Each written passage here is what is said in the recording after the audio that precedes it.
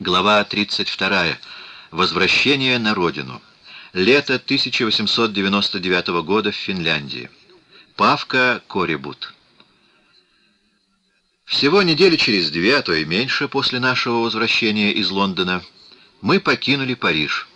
Мы покинули наше уютное гнездо на Рю-де-Ламбр, продав предварительно за гроши нашу неказистую, но вполне достаточную обстановку. Все особенно тяжелое было затем отправлено морем и доплыло до Петербурга несколько недель после нашего прибытия. Приехали мы в Париж осенью 1896 года, вчетвером, считая в том числе Аннушку. Покинули же мы Париж весной 1899 года в пятером. К прежним спутникам присоединилась еще годовалая крошка Леля. Переезд в Петербург с недолгой остановкой в Берлине произошел благополучно. А в Петербурге нас уже на вокзале встретили несколько членов нашей многочисленной семьи. Впрочем, сестра Катя со всей своей семьей жила уже на даче, и поэтому мы смогли на первых порах занять ее квартиру. С некоторых пор она уже покинула большую квартиру наших родителей в Белетаже и переселилась в том же доме Бенуа в прелестное помещение в четвертом этаже, которое когда-то занимал Гонзага. Имеется в виду сын знаменитого художника-декоратора Пьетро Гонзага, Пауло Гонзага, Гонзаго Павел Петрович, 1794-1877, декоратор петербургских императорских театров, 1818-1841, участвовавший под руководством отца в оформлении спектаклей и празднеств в Павловске, Петербурге и Москве, 1812, 1814, 1825 годы. Оно было угловым, выходившим окнами на улицу Глинки и на Екатеринговский проспект. Эта квартира была едва меньше прежней, но вполне достаточной для Кати и ее шестерни. Мы устроились бивуаком в двух комнатах мальчиков. Было тесновато, зато до чего же трогательно было, что прямо перед нами высились пять золотых глав Николы Морского а утром после нашего приезда мы были разбужены знакомым перезвоном с чудесной колокольни. Все внимание, вся ласка, все хлебосольство, которое мы встретили со стороны нашей семьи, очень скрасили нам то, что было чуть грустного в этом возвращении, в том, что мы бросили ставший нам тоже как бы родным Париж. Особенно же грустно было то, что, оказавшись в родном доме, мы уже не застали того помещения, в котором я родился и вырос. Там шел теперь усиленный ремонт, ввиду его занятия новыми квартирантами, шаховскими. Оставались мы в Петербурге недолго. Поиски собственной квартиры были отложены до конца лета, а теперь мы спешили на дачу. Благо, таковая уже была снята милым Альбером, по соседству с той, которую он занимал сам и сестра Катя с семьями. Впрочем, с Альбером жили теперь не все четверо его детей, а только трое. Старшая его дочь, подруга моего детства Мася, успела за это время выйти замуж за талантливого, только что блестяще окончившего консерваторию композитора и пианиста Черепнина.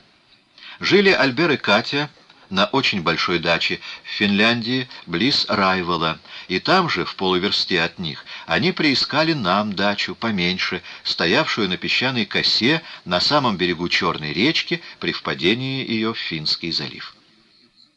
Вообще в Петербурге мы мало кого застали. Я даже не смог повидать всех моих друзей, зато именно тогда же, в дни нашего короткого предлетнего пребывания в городе, на моем горизонте появляется еще одно лицо, ставшее с тех пор для меня близким. Этот новый знакомый дал возможность мне выступить на одном из тех поприщ, на которых в дальнейшем я приобрел себе известность.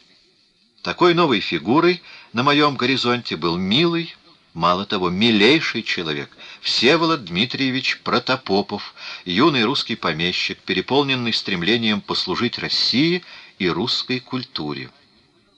Усматривал же он это служение главным образом в более тесном приобщении к западной образованности.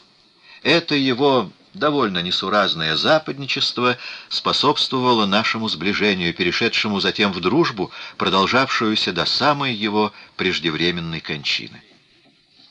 Явился же Протопопов ко мне с определенным предложением. Он затеял издать русский перевод столь нашумевшего в свое время труда Мутера «История живописи в XIX веке», но ему казалось, что невозможно было ограничиться в русском издании всего несколькими страничками, посвященными русской живописи, а что следует эту главу расширить. Мне эта мысль была по душе. Я рвался в бой, но сначала я так оробел, сознавая свою неподготовленность, что стал было отказываться.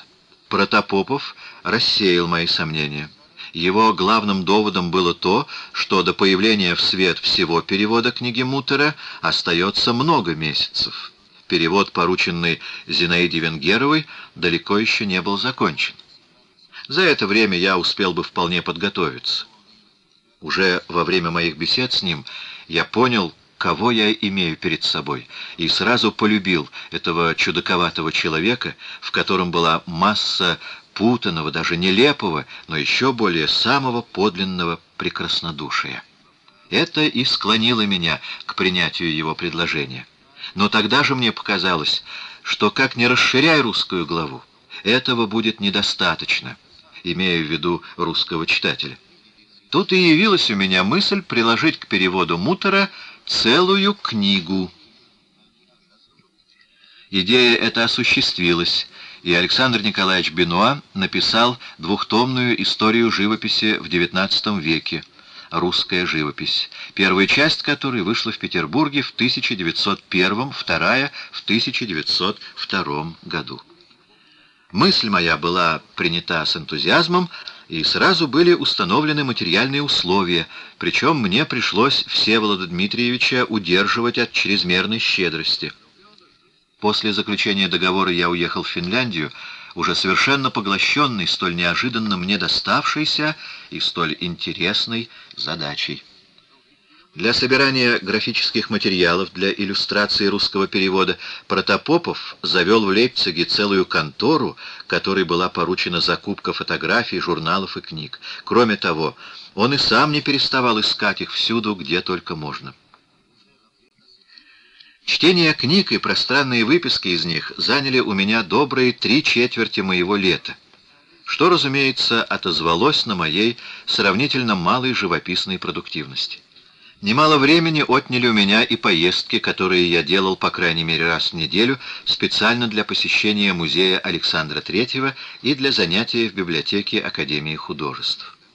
Зато именно эти посещения и эти занятия снова разожгли во мне потухший был энтузиазм к русской живописи. Они же помогли мне основательно проверить мои прежние суждения и выработать новые. В общем, оказалось, что я продолжаю соглашаться с прежней моей оценкой главнейших явлений русской живописи. И это в особенности касается того, что совершенно отошло в историю, начиная с чудесных портретистов XVIII века и кончая мастерами сюжетной живописи с Федотовым и Перовым во главе. Требовались лишь некоторые разработки, а местами некоторые смягчения и частичные поправки. Гораздо сложнее обстояло дело с оценкой передвижников, и уже совершенно трудно с явлениями последних лет. Я заранее чувствовал, как трудно будет, а подчас как мучительно говорить правду, то, что я считал за таковую, о моих современниках и тем паче о моих друзьях.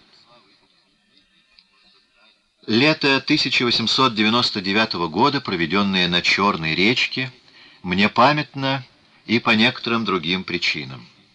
За исключением одного пикника, организованного Альбером в прекрасную заповедную рощу лиственницу, посаженную специально для получения корабельных мачт еще Петром Великим, никаких других экскурсий не предпринималось, зато ближайшую окрестность нашего дачного поселка я исходил во всех направлениях. При этом я находил немало поэтичных мотивов. Среди лета к нам на Черную речку явились Дима Философов и Сережа Дягилев. Приехали они специально для того, чтобы поразить нас сенсационной новостью.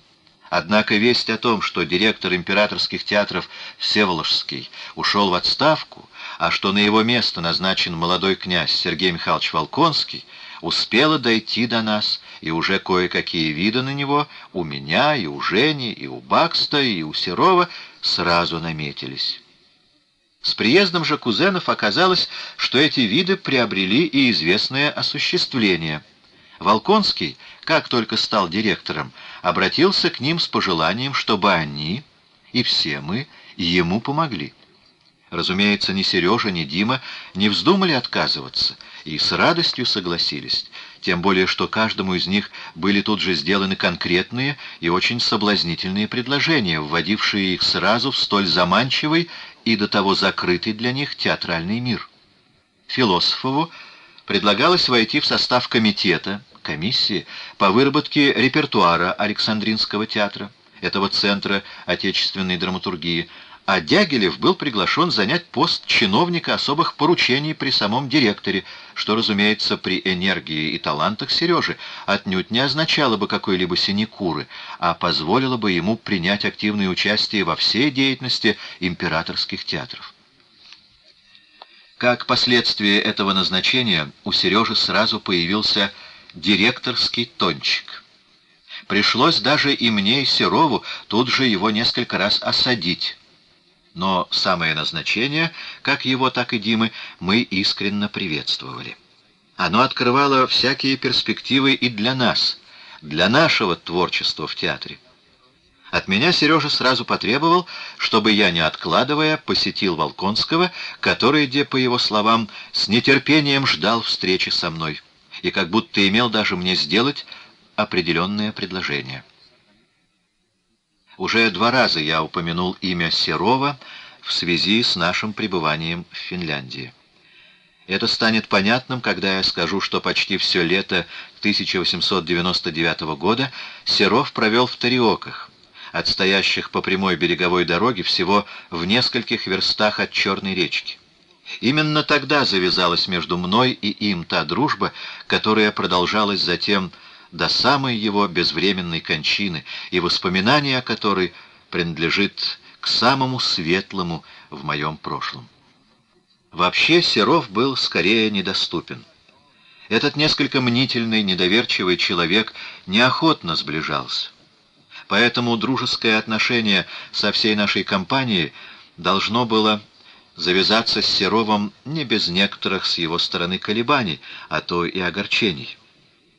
Чего в нас наверняка не было, так это простоты. В этом я не могу не покаяться, и делаю это с сознанием, что в позднейшие времена, и тогда, когда последние следы юношеской блажи стерлись, мы все, и я в частности, все более и более стали опрощаться, отвыкать от гримас и всяческого ломания. И вот в этом нашем исправлении, без сомнения, немалое влияние оказывал Серов — не столько его весьма редкие замечания или упреки, сколько тот огорченный вид, который он принимал каждый раз, когда в его присутствии кое-какие застарелые в нас привычки брали верх. Впрочем, надо оговориться. Серова отнюдь не следует себе представлять в виде какого-то угрюмого пуританина-цензора, и менее всего он походил на гувернера. Скорее, тон гувернера, или, как мы его дразнили, гувернантки, брал иногда Дима. Напротив, Серов терпеть не мог всякую цензуру. Он любил и сам пошутить, и никто так не наслаждался удачными шутками других, как он. Как очаровательно он смеялся, какая острая наблюдательность, какой своеобразный и подчас очень ядовитый юмор просвечивал в его замечаниях. Какие чудесные, необычайно меткие карикатуры нарисовал он на всех нас. Эти рисунки заполняли целую стену той боковой комнаты во двор, в великолепной квартире Сережи в доме номер 11 на Фонтанке, которая служила редакцией в тесном смысле и куда посторонние не допускались. Что стало с этими чудесными рисунками, которые висели приколотые булавками к обоям? Местонахождение серовских карикатур неизвестно. В квартире Сережи в Замятином переулке я их уже не помню. В той же комнате на камине Бакст вздумал соперничать с Микеланджело, набросав человеческую фигуру в очень утрированной позе. Но чего Серов положительно не терпел, так это кривляние и хитрение в обращении с друзьями. Тут больше всего попадало Сереже, но попадало и мне, и Баксту, и Валечке, причем, еще раз прибавлю, это попадание выражалось не столько в словах, сколько во взгляде, в странно наступавшем молчании, в том, что Серов вставал и начинал прощаться, когда ему на самом деле некуда было спешить. Особенно его огорчали циничные сальности. Зато когда беседа с друзьями была ему по душе, он готов был пропустить даже и очень нужное для него свидание. И вот лето 1899 года сыграло большую роль в сглаживании всяких шероховатостей в моих отношениях с Серовым. Живя на Черной речке, мы виделись с Серовым несколько раз в неделю. В большинстве случаев это он приходил или приезжал к нам. Иногда же мы встречались по предварительному уговору на полпути от нас до Тереок. И тогда мы заканчивали прогулку вместе. Причем особенно любимым местом была шедшая параллельно прибрежному шоссе верхняя дорожка, откуда открывались чудесные далекие виды. Одну из моих тогдашних акварелей, как раз сделанных с этой дорожки, Серов выбрал себе, дав мне в обмен очаровательный этюд маслом, писанный им Френсбурге, близ Копенгагена куда он ездил для собирания материалов к заказанному ему портрету императора Александра III в датском мундире. Наконец он заезжал к нам по дороге к тому месту на побережье, которое он купил и где уже строилась под его наблюдением дача. Значительную часть лета 1899 года Серов провел в Тариоках. Однако гостил там он у Мате один — тогда как его семья оставалась в Москве. Часто и добрейший Мате принимал участие в наших прогулках, причем его энтузиазм, воспламенявшийся по любому поводу, немало веселил Серова.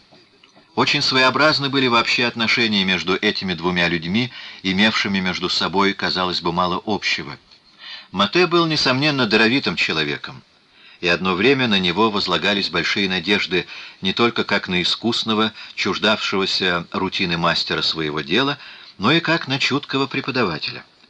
Однако эти надежды не сбылись в полной мере, и помешала тому его органическая непоборимая лень. Он слишком довольствовался болтовней, проектами, мечтаниями, лишь бы только не засесть за работу. А также и крайняя его бестолковость. Фамилия у него звучала на французский лад, но говор у него был чисто российский. Всей же своей повадкой и манерами он напоминал старого, засидевшегося в университете студента. Я был знаком с Василием Васильевичем с юных лет. И тогда уже Мате, будучи еще совсем молодым, представлялся мне таким же растяпой энтузиастом, каким он остался на всю жизнь. При этом он был честнейшим малым, безгранично преданным всем, с кем он сходился, а ученики обожали его. С своей стороны и Мате был склонен преувеличивать достоинство и дарование своих учеников. По собственному почину он, между прочим, учредил в академической своей квартире свободный вечерний класс, на котором он в непринужденной форме делился со всеми своими техническими познаниями в гравюре. При своем широком гостеприимстве он не только всякому был рад, но он не уставал зазывать к себе и тех, кто по собственной инициативе не шел к нему или все откладывал свое посещение. К таким отлынивающим от посещения милого Мате принадлежал, бог знает почему, и я. Скорее всего, меня коробило в нем слишком явно выраженный стиль Рюс, его какая-то бесшабашность, а также и то, что называется складной душой. Нельзя было вполне положиться на Мате, а в своих взглядах будь то политические или гражданственные, он звал и мнил себя исповедующим самые передовые, самые светлые идеи. Однако это у него как-то уживалось с весьма неожиданными противоречиями, едва ли им самим осознаваемыми. Женат он был на немке, на эстонке, говорившей по-русски с немецким акцентом, и вот это сочетание долговязого всклокоченного мате, являвшего во всем очень ярко выраженную славянскую душу, с этой плотненькой, очень некрасивой, но очень аккуратненькой фрау-профессор, как бы сошедшей со страниц летучих листков, казалось чем-то нарочитым и чуть даже карикатурным. Серов любил благодушно подтрунивать над ними обоими. Причем Василий Васильевич смеялся во весь свой заросший бородой рот, а жеманная его жена, забыл ее имя и отчество, слегка надувалась, что только еще более подстрекало Серова к насмешкам.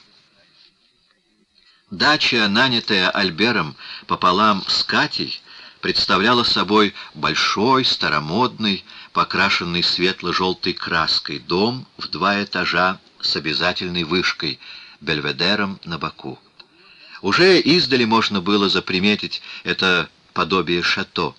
Благодаря тому гигантскому, похожему на императорский штандарт флагу, который развивался с высокой мачты, водруженной Альбером, на следующий же день после своего переезда на дачу. Мой брат обожал всякие подобные эффектности, так же, как он обожал фейерверки, спуски воздушных шаров, иллюминации, пикники, и как раз летом Ему было в этом смысле особенное раздолье. Но еще характерным для него было то, что хоть дача и была огромная и поместительная, однако обитателей в ней набралось такое множество, что всем стало тесновато. Мания Альбера вечно кого-нибудь зазывать к себе и заставлять у себя гостить дня два или три с годами вовсе не ослабела.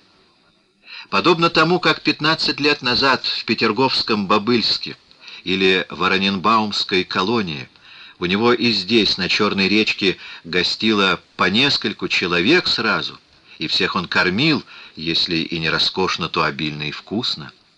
А главное, что ценили гости Альбера, это настроение непрерывного веселья, царившего в его доме. Смех, песни, шутки, игры, всяческие дурачества и представления — не переводились. Хотя теперь он был лишен общества своей первой жены, также очень любившей веселиться, однако эта утрата не сказывалась на всем его житье-бытие, и это тем меньше, что отчасти Марию Карловну заменяла вторая дочь Альбера, Камилла, Милечка, впоследствии вышедшая за известного генерала Хорвата но тогда еще пребывавшая в девичестве и пользовавшаяся огромным успехом у мужчин. Достаточно будет сказать, что за ней волочился не только славившийся своей влюбчивостью Левушка Бакст, он даже сделал ей однажды предложение, но и наш сухарь Валечка подпал под ее чары и воздыхал по ней. Прибавлю, что это была последняя, столь же неудачная, как и все предыдущие, попытка нашего друга проникнуть в Венерин грот, после чего он от подобных попыток отказался совсем и превратился в того убежденного гомосексуалиста, каким он остался до старости, совратив даже в свою веру и приятеля Сомова. Однако в то лето 1899 года у Милечки нашлась опасная соперница — по заколдовыванию сердец, а именно в лице Иви Ливисей, дочери моего английского приятеля Реджа, превратившейся из кусавшей всех шалуньи девочки в действительно очаровательную, необычайно типичную англичаночку. Теперь ей было 18 лет, и она вся отцвела молодостью и задором. Только что она оказалась вакханкой, готовый броситься в объятия любого сатира. И тотчас же эта кажущаяся распущенность заменялась манерами образцовой викторианской мисс. Совершенно без ума влюбился в нее тогда Коля Лансере. Он даже осенью того года отправился вслед за ней в Англию. Однако из этого ничего не вышло, и он с носом вернулся к себе. Хохот Иви раздавался на всю дачу Альбера и на весь окружающий ее большой и довольно запущенный сад. Бегала она на своих длинных точеных ногах, как Диана, обыгрывала всех в крокет, в те годы в России еще процветавший, взлетала на поджане под самые небеса, а главное, дурила и кружила головы, начиная со своего квазидяденьки Альбера. Поддался шарму Иве даже Александр Сергеевич, иначе говоря, Саша Зарудный. С некоторых пор он казался теперь менее бешеным, нежели был раньше, когда он на даче нашего Мишеньки вытворял черт знает какое скоморошество. Но обезьяньи ухватки у него остались те же, и по-прежнему он мог озадачить хоть кого своими неожиданными сумасшедшими выходками. Теперь этот молодой прокурор с длинной, как смоль, черной бородой, с глазами, сверкавшими безумным блеском, уже не прыгал на столы, не кувыркался, но зато он то и дело впадал в какие-то трансы элоквенции и поэзии. Это поистине бывало чудесно. Присутствие Иви особенно раззадоривало Сашу. Он экспромтом сочинял в ее честь полушутливые оды и сонеты, которые она, не понимая ни слова по-русски, не могла оценить по достоинству, но которые Саша произносил с такой страстью, с таким воодушевлением, что один его голос, одна его мимика производили нужное впечатление. Мы же, посторонние, только любовались и потешались этими сценами. Последние недели нашего пребывания на Черной речке были для нас несколько испорчены тем, что пришлось усиленно заняться подысканием квартиры. На это ушло, по крайней мере, пять поездок в Петербург. Иной раз в дождливую предосеннюю погоду.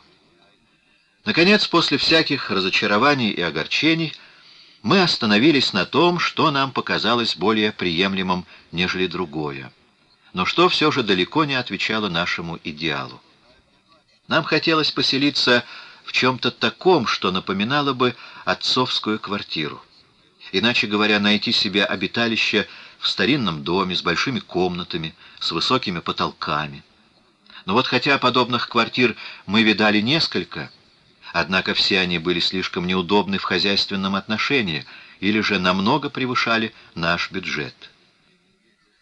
Близкие к отчаянию, мы, наконец, решили взять то, что, если в хозяйственном смысле и в смысле экономическом было удовлетворительно, то вовсе не совпадало с нашими основными пожеланиями. Начать с квартала. Мы оба ненавидели роты, то есть те лишенные всякой поэзии улицы, что тянутся параллельно одна другой за казармами Измайловского полка. Да и самые комнаты этой квартиры не обладали никаким шармом. Особенно меня огорчали претенциозные обои, тогда как хозяин дома, доктор Бари, не соглашался на какой-либо ремонт, так как съехавшие с квартиры жильцы оставили ее в полном порядке. Все же, за неимением лучшего, мы поселились там и прожили в этой квартире целых два года. Устройство нашего очага оказалось довольно сложным. Надлежало собрать нашу обстановку, размещенную по разным местам перед тем, как мы перебрались в Париж, и свести все эти вещи в новое помещение. Комнату, которая стала моей рабочей, загромоздил пресловутый перекидной диван Биркенфельда. Но он так мне опостылил, что я сразу решил его продать. На опустевшее же место стал диван карельской березы, который отлично вязался с прелестными креслами и стульями, доставшимися мне по наследству из папиного кабинета. Имея возможность теперь распоряжаться более крупными суммами, мы тогда же сделали несколько других приобретений в старомодном роде. Главной поставщицей была все та же Брайна Мильман, одна из самых характерных фигур Александровского рынка. Нельзя сказать, чтобы товар у Брайны был особенно изысканным. Кто желал обзавестись чем-либо более роскошным и редкостным, тот шел к Ярыкалову, Клиневичу, Кузнецову. Все эти антикварные магнаты имели свои склады в Апраксином или Щукином рынке. Зато для людей со скромными средствами, но которые все же желали жить не среди новой банальщины, а среди приятных, овеянных поэзией старинных вещей, для тех лавка Брайны была неисчерпаемой, непрестанно пополнявшейся сокровищницей. К этому буржуазному пассеизму, начинавшему тогда входить в моду, примешивался и известный литературный сентиментализм. Приятно было видеть себя и своих близких в обстановках, похожих на те, в которых жили и любили герои Пушкина, Гоголя или Гёте, Альфреда де Виньи, а то и просто наши собственные бабушки и дедушки. Честь учреждения в нашем кружке данной моды принадлежит неоспоримо Павлу Георгиевичу Коребут-Кубитовичу, двоюродному брату Димы и Сережи.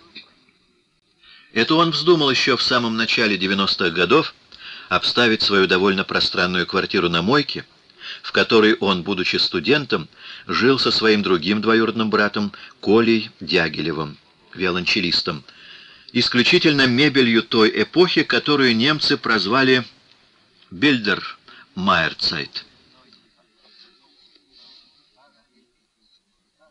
С середины XIX века это определение закрепилось за культурой эпохи между 1815-1848 годами.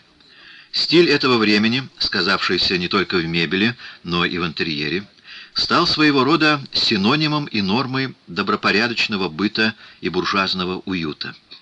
Его появление в Европе было вызвано стремлением уйти в мир замкнутой частной жизни после потрясений наполеоновских войн и революций.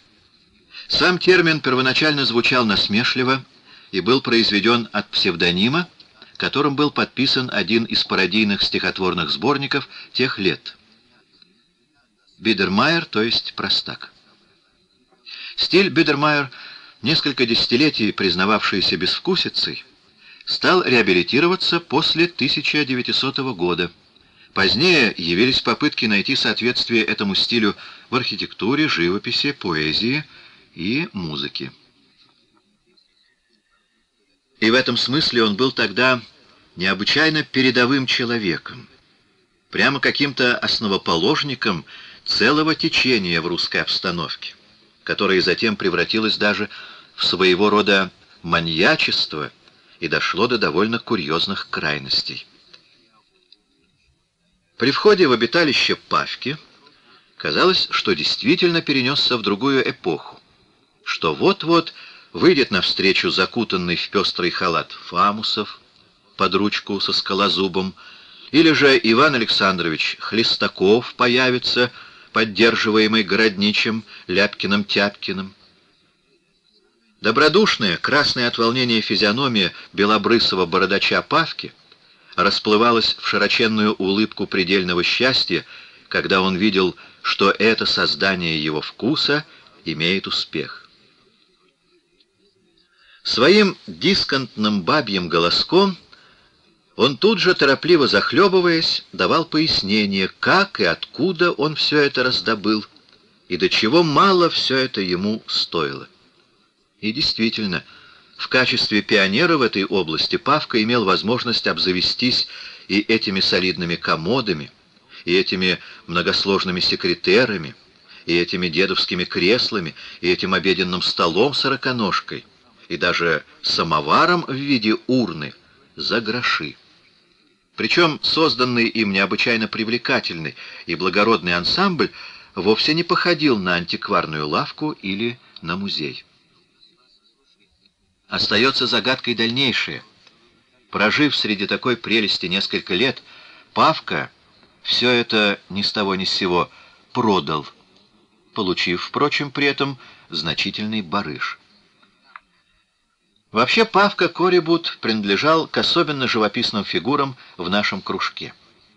Он никакой активной роли в нем не играл, и все же его можно с полным основанием назвать одним из наших спутников жизни. Всего же более он оказался спутником жизни Сережи Дягилева.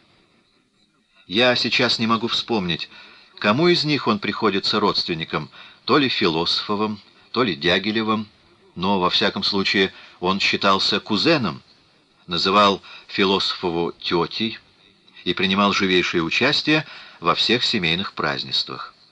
Да и в другие дни он зачастую бывал и у Философовых, и у Радьковых, а с момента учреждения редакции «Мира искусства» он являлся среди нас чуть ли не ежедневно, уклоняясь, однако, от каких-либо обязанностей. Что касается наружного вида Павла Георгиевича, то мы в шутку его называли «настоящий русский боярин».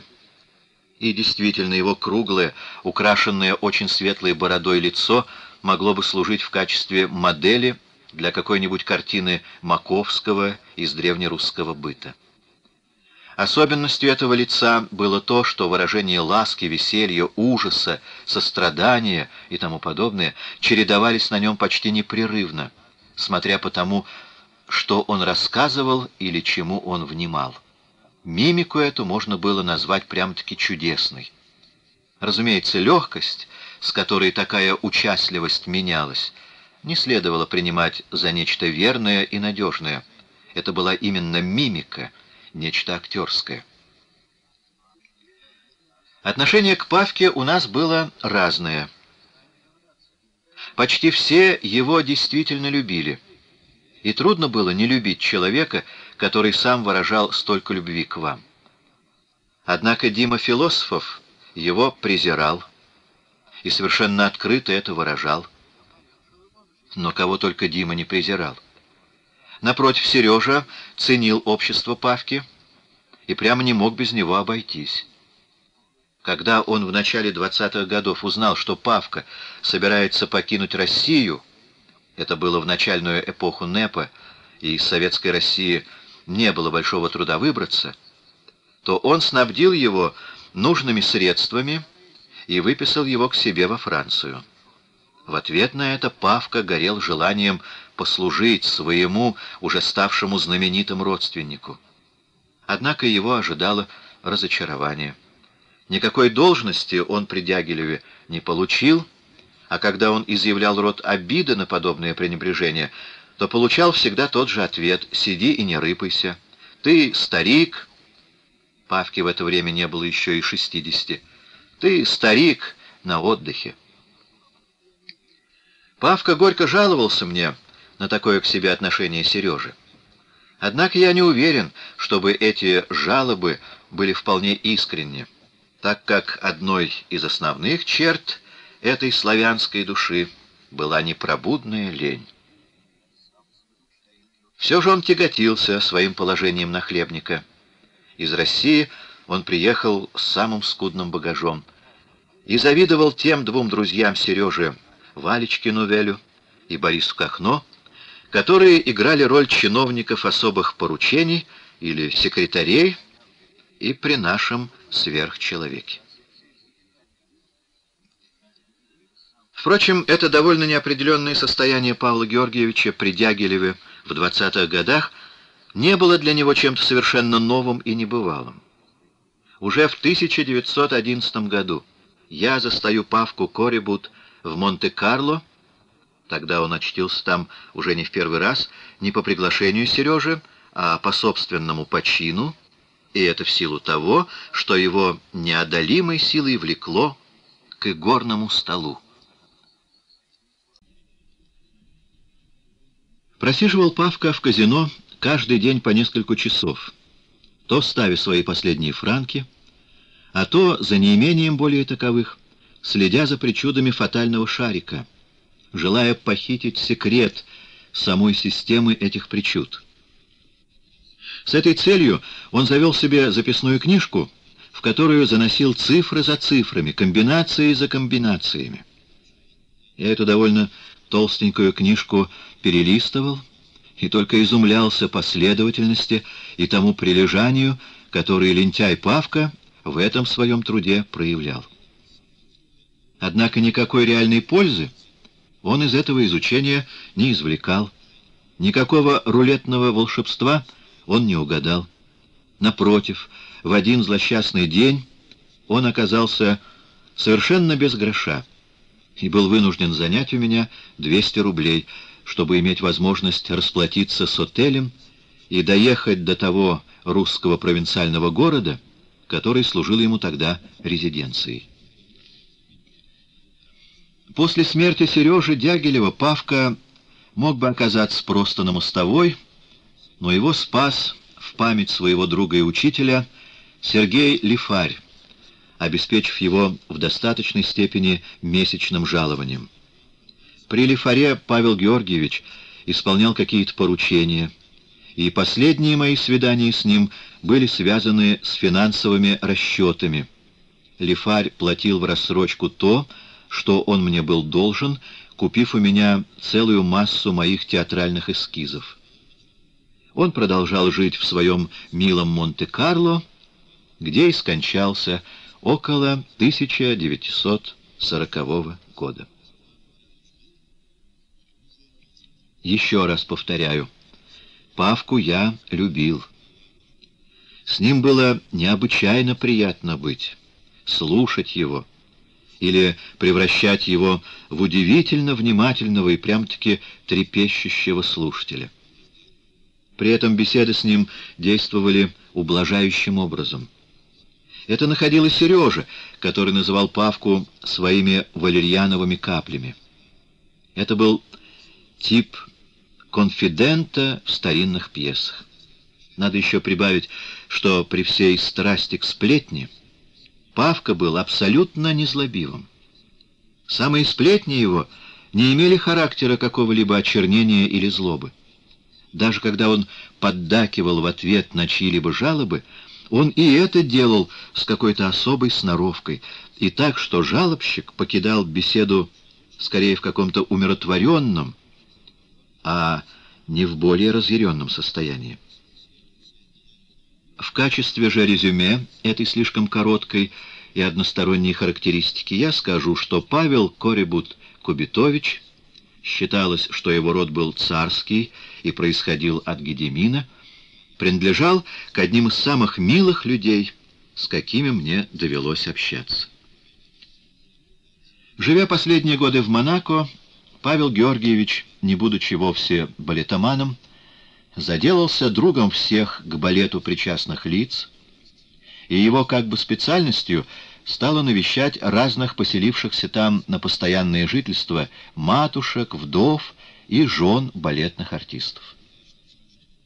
В ответ на его ласку эти дамы искренне любили Павла Георгиевича и всячески его ублажали и баловали. Я убежден, что ни одна из них поплакала от всего сердца, когда его не стало. В этом только и сказалась причастность кузена Дягилева к тому делу, которое прославило имя последнего на весь мир.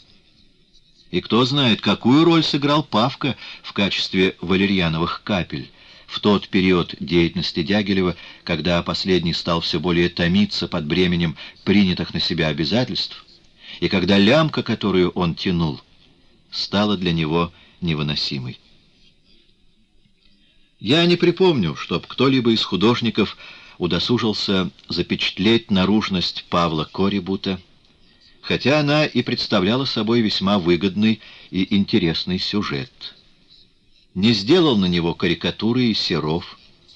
Осталось несколько фотографий, из которых особенно удачной получилась та, что я снял с него в 1911 году в Монте-Карло в обществе балерины Облаковой и дочери Боткина Шурочки. Глава 33. В Москве и в Киеве. Не успели мы перебраться в город и устроиться на новой квартире, как я уже собрался в то довольно далекое путешествие, которое я решил предпринять ввиду своей дальнейшей работы над историей русской живописи. Нужно было проверить свои впечатления от московских музеев, познакомиться с рядом частных собраний, побывать у нескольких наиболее значительных художников, а затем проехать и в Киев. Резюмируя свои впечатления и оставляя в стороне все то, что я получил от ознакомления с Москвой в целом, я на первое место должен поставить творение Александра Иванова. Я и до того питал к этому художнику, одному из самых подлинных во всей истории русского искусства, глубокое почитание, вместе с какой-то сердечной симпатией. Причем я был подготовлен к тому рассказами отца, знавшего Иванова лично. И с особенным же увлечением я изучил библейские эскизы Иванова, уже известные мне по воспроизведениям факсимиле, изданным его братом Сергеем. Имеется в виду альбом изображения из священной истории оставленных эскизов Александра Иванова, изданный в Берлине с предисловием Боткина. Альбом выходил выпусками, по 15 листов каждый, в течение 8 лет. Выпуски 1, 14, 1879, 1887. Теперь же я их увидал в несравненно большем количестве и в оригиналах. И это меня окончательно убедило, что в этом художнике горело пламя настоящего гения, которому, увы, так и не суждено было расцвести до совершенной полноты. В то же время меня трогало то упорство, с которым Иванов в своих этюдах к явлению Христа стремился научиться правде и забыть привитую Академией школьную рутину. Словом, во мне возник тот культ Иванова, который я и поставил во главу угла всей моей книги. Из всех русских живописцев он представился мне самым живым, самым драгоценным и каким-то прямо идеалом художника вообще. Возможно, что я притом впал в некоторое преувеличение. Я увлекся своим открытием, как всякий другой очень большой и подлинный художник, Иванов уже подвергался до меня и, вероятно, подвергнется еще участи быть открываемым, оцениваемым и переоцениваемым по нескольку раз. Однако все же по существу я был прав, как бывает прав человек всегда, когда испытывает великое счастье найти через посредство искусства нечто освежающее и поднимающее его душу. Через знакомство с оригиналами Иванова я только лучше понял его искусство. Я нашел в них некую ценнейшую меру вещей. И с тех пор, в течение многих лет, я обращался к Иванову всякий раз, когда меня брали разные сомнения, когда я хотел проверить свои убеждения, когда путался в противоречиях, которыми так изобилует оценка художественных произведений. Менее всего, впрочем, я оценил, увидав в натуре, по гравюрам я ее знал с самого детства, колоссальную картину Иванова «Явление Христа народу». И как раз по этому поводу у меня возник горячий спор с Васнецовым, который оказался ревностным поклонником Иванова и особенно этой его картины. Он и слышать не хотел о том, что в целом картина представляет собой неудачу, что она лишена объединяющей цельности, что она замучена, засушена, наконец, что Иванов, несмотря на все свои усилия, не сумел вложить в нее ту жизненность, которой он главным образом задавался. Воснецов с жаром отстаивал абсолютное совершенство картины. Он отрицал, что имеется известное противоречие между Ивановым, сочинившим свои вдохновенные эскизы, и тем пенсионером Академии, который затеял явление Христа и в течение стольких лет мучился над ним, этим исполинским холстом. Этот спор так тогда ни к чему и не привел разделяя, впрочем, при этом участь всех подобных споров. К Виктору Васнецову, к великому Васнецову, я тогда попал благодаря его брату Аполлинарию. С последним я уже года четыре как был знаком и даже в некотором роде дружил с этим милым, несколько наивным человеком. Дружба наша получила некоторый изъян во время пребывания Полинария в течение зимы 1898-99 года в Париже, куда он явился уверенный в том, что его живопись будет иметь там значительный успех. Но французы не потрудились обратить какое-либо внимание на его выставленное в салоне Марсово поле гигантское полотно, изображающее сибирскую тайгу, и картина прошла незамеченной. Салоны Марсового поля проводились в Париже с 1890 года, после того, как группа художников во главе с Мейсонье и Пюви де Шаваном порвала в 1889 году с официальными салонами Общества французских художников и учредила новое Национальное общество изящных искусств. В салоне 1898 года экспонировалась картина Васнецова «Сибирь», 1894 год, Государственный русский музей. При этом я лично оказался как бы свидетелем этого посрамления, и, вероятно, ему было не особенно приятно встречаться с кем-то, напоминавшим понесенную обиду. Все же мое знакомство с Виктором Васнецовым произошло благодаря Полинарию, тогда как без такой протекции – было бы затруднительно пройти через те заграждения, которыми себя обставил старший брат, достигший в те дни верха своей славы. Впрочем, и так оказанный мне Виктором Васнецовым прием оказался не из самых радушных, особенно если принять во внимание традиционное радушие москвичей. Виктор Михайлович был очень вежлив со мной, но и только. Помешала ли большей экспансивности общая его нелюдимость? Или он разделял ходячее о всех нас мнение, будто бы мы насаждаем пресловутое и зловреднейшее декаденство? Я не знаю. Не мог не почувствовать, несомненно, очень чуткий Виктор Михайлович во мне, в этом представителе ненавистного петербургского художества, дерзающим с ним спорить, какого-то врага считая себя каким-то преемником заветов Иванова, он догадывался, что если я вижу известную фальшь в главном произведении Иванова, то я могу счесть за ложь, за притворство многое и в произведениях его самого, Васнецова. Вообще же дом Виктора Васнецова показался мне скорее унылым и мрачным. Возможно, что тому способствовал пасмурный осенний день, быть может и отсутствие какого-либо декоративного чувства в обстановке. Положим, Васнецов увлекался в те годы вопросом возвращения русского прикладного художества к его первоисточникам и сам производил опыты в этом смысле в виде сундуков, шкафов, кресел, тут же расставленных по квартире.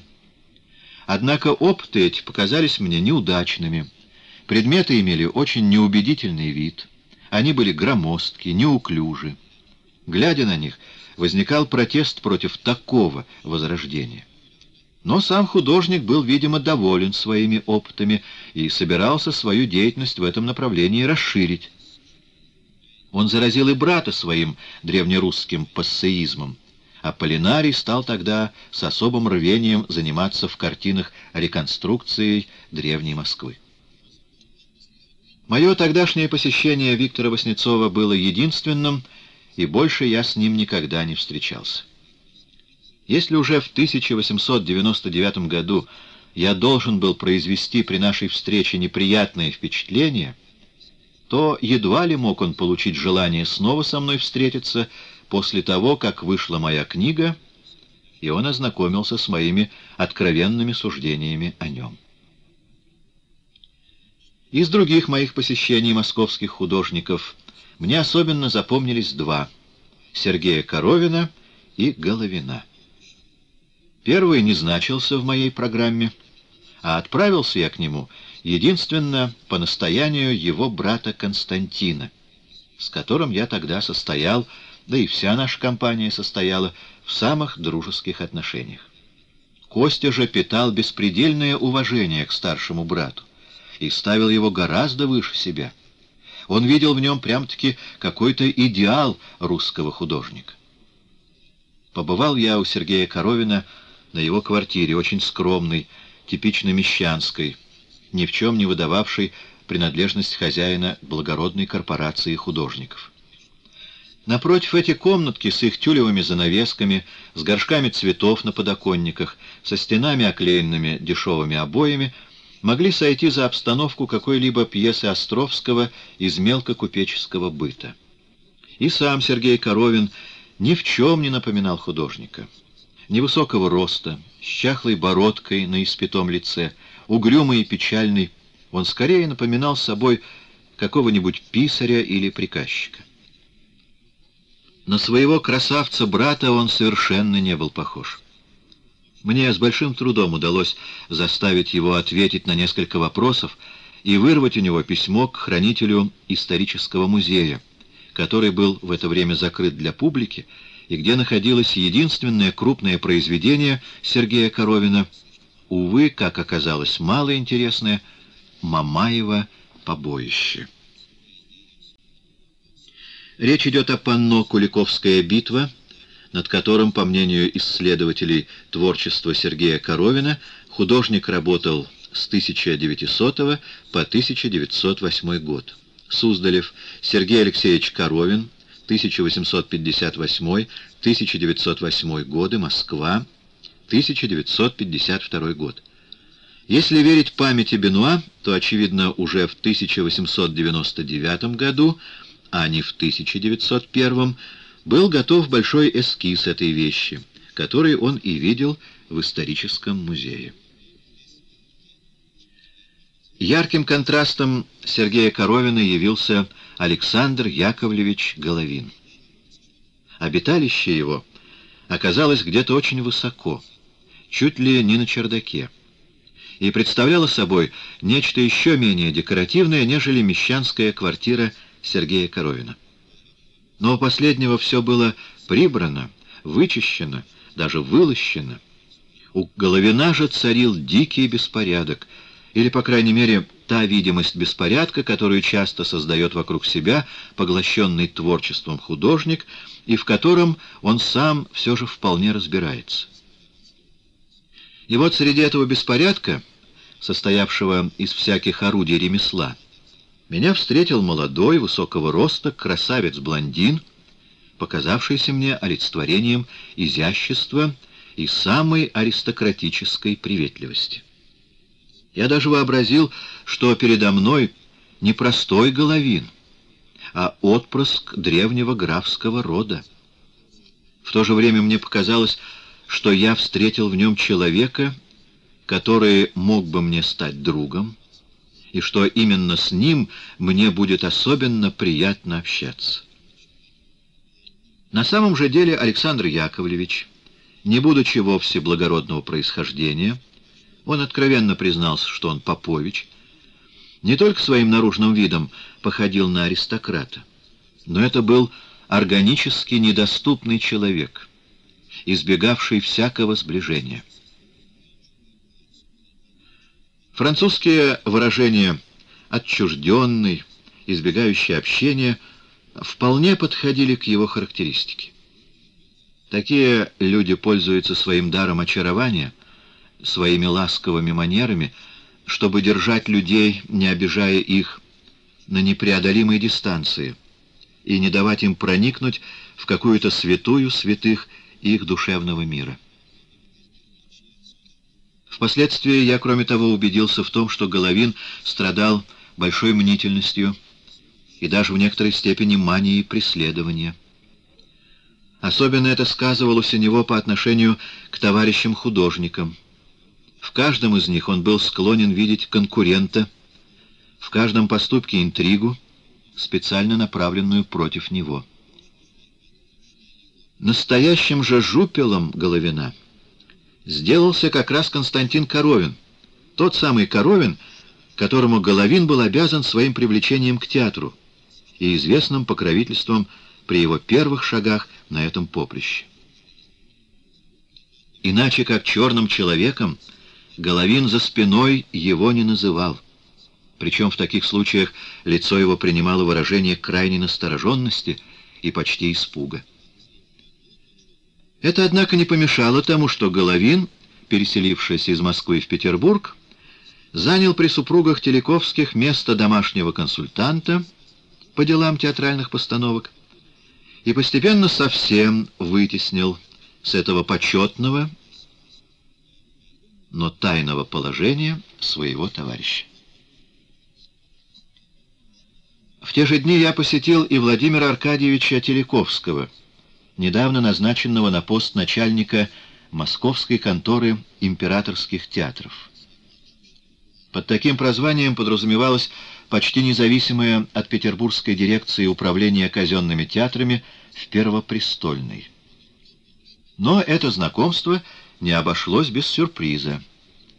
Дягилев уже успел до меня познакомиться с Телековским и был в восторге от его энергии и предприимчивости, в частности от тех постановок, которые были затеяны им при сотрудничестве Головина и Коровина. По рассказам Сережи я себе представил Владимира Аркадьевича чем-то вроде Всеволожского, то есть человеком маститым, спокойным и довольно сановитым.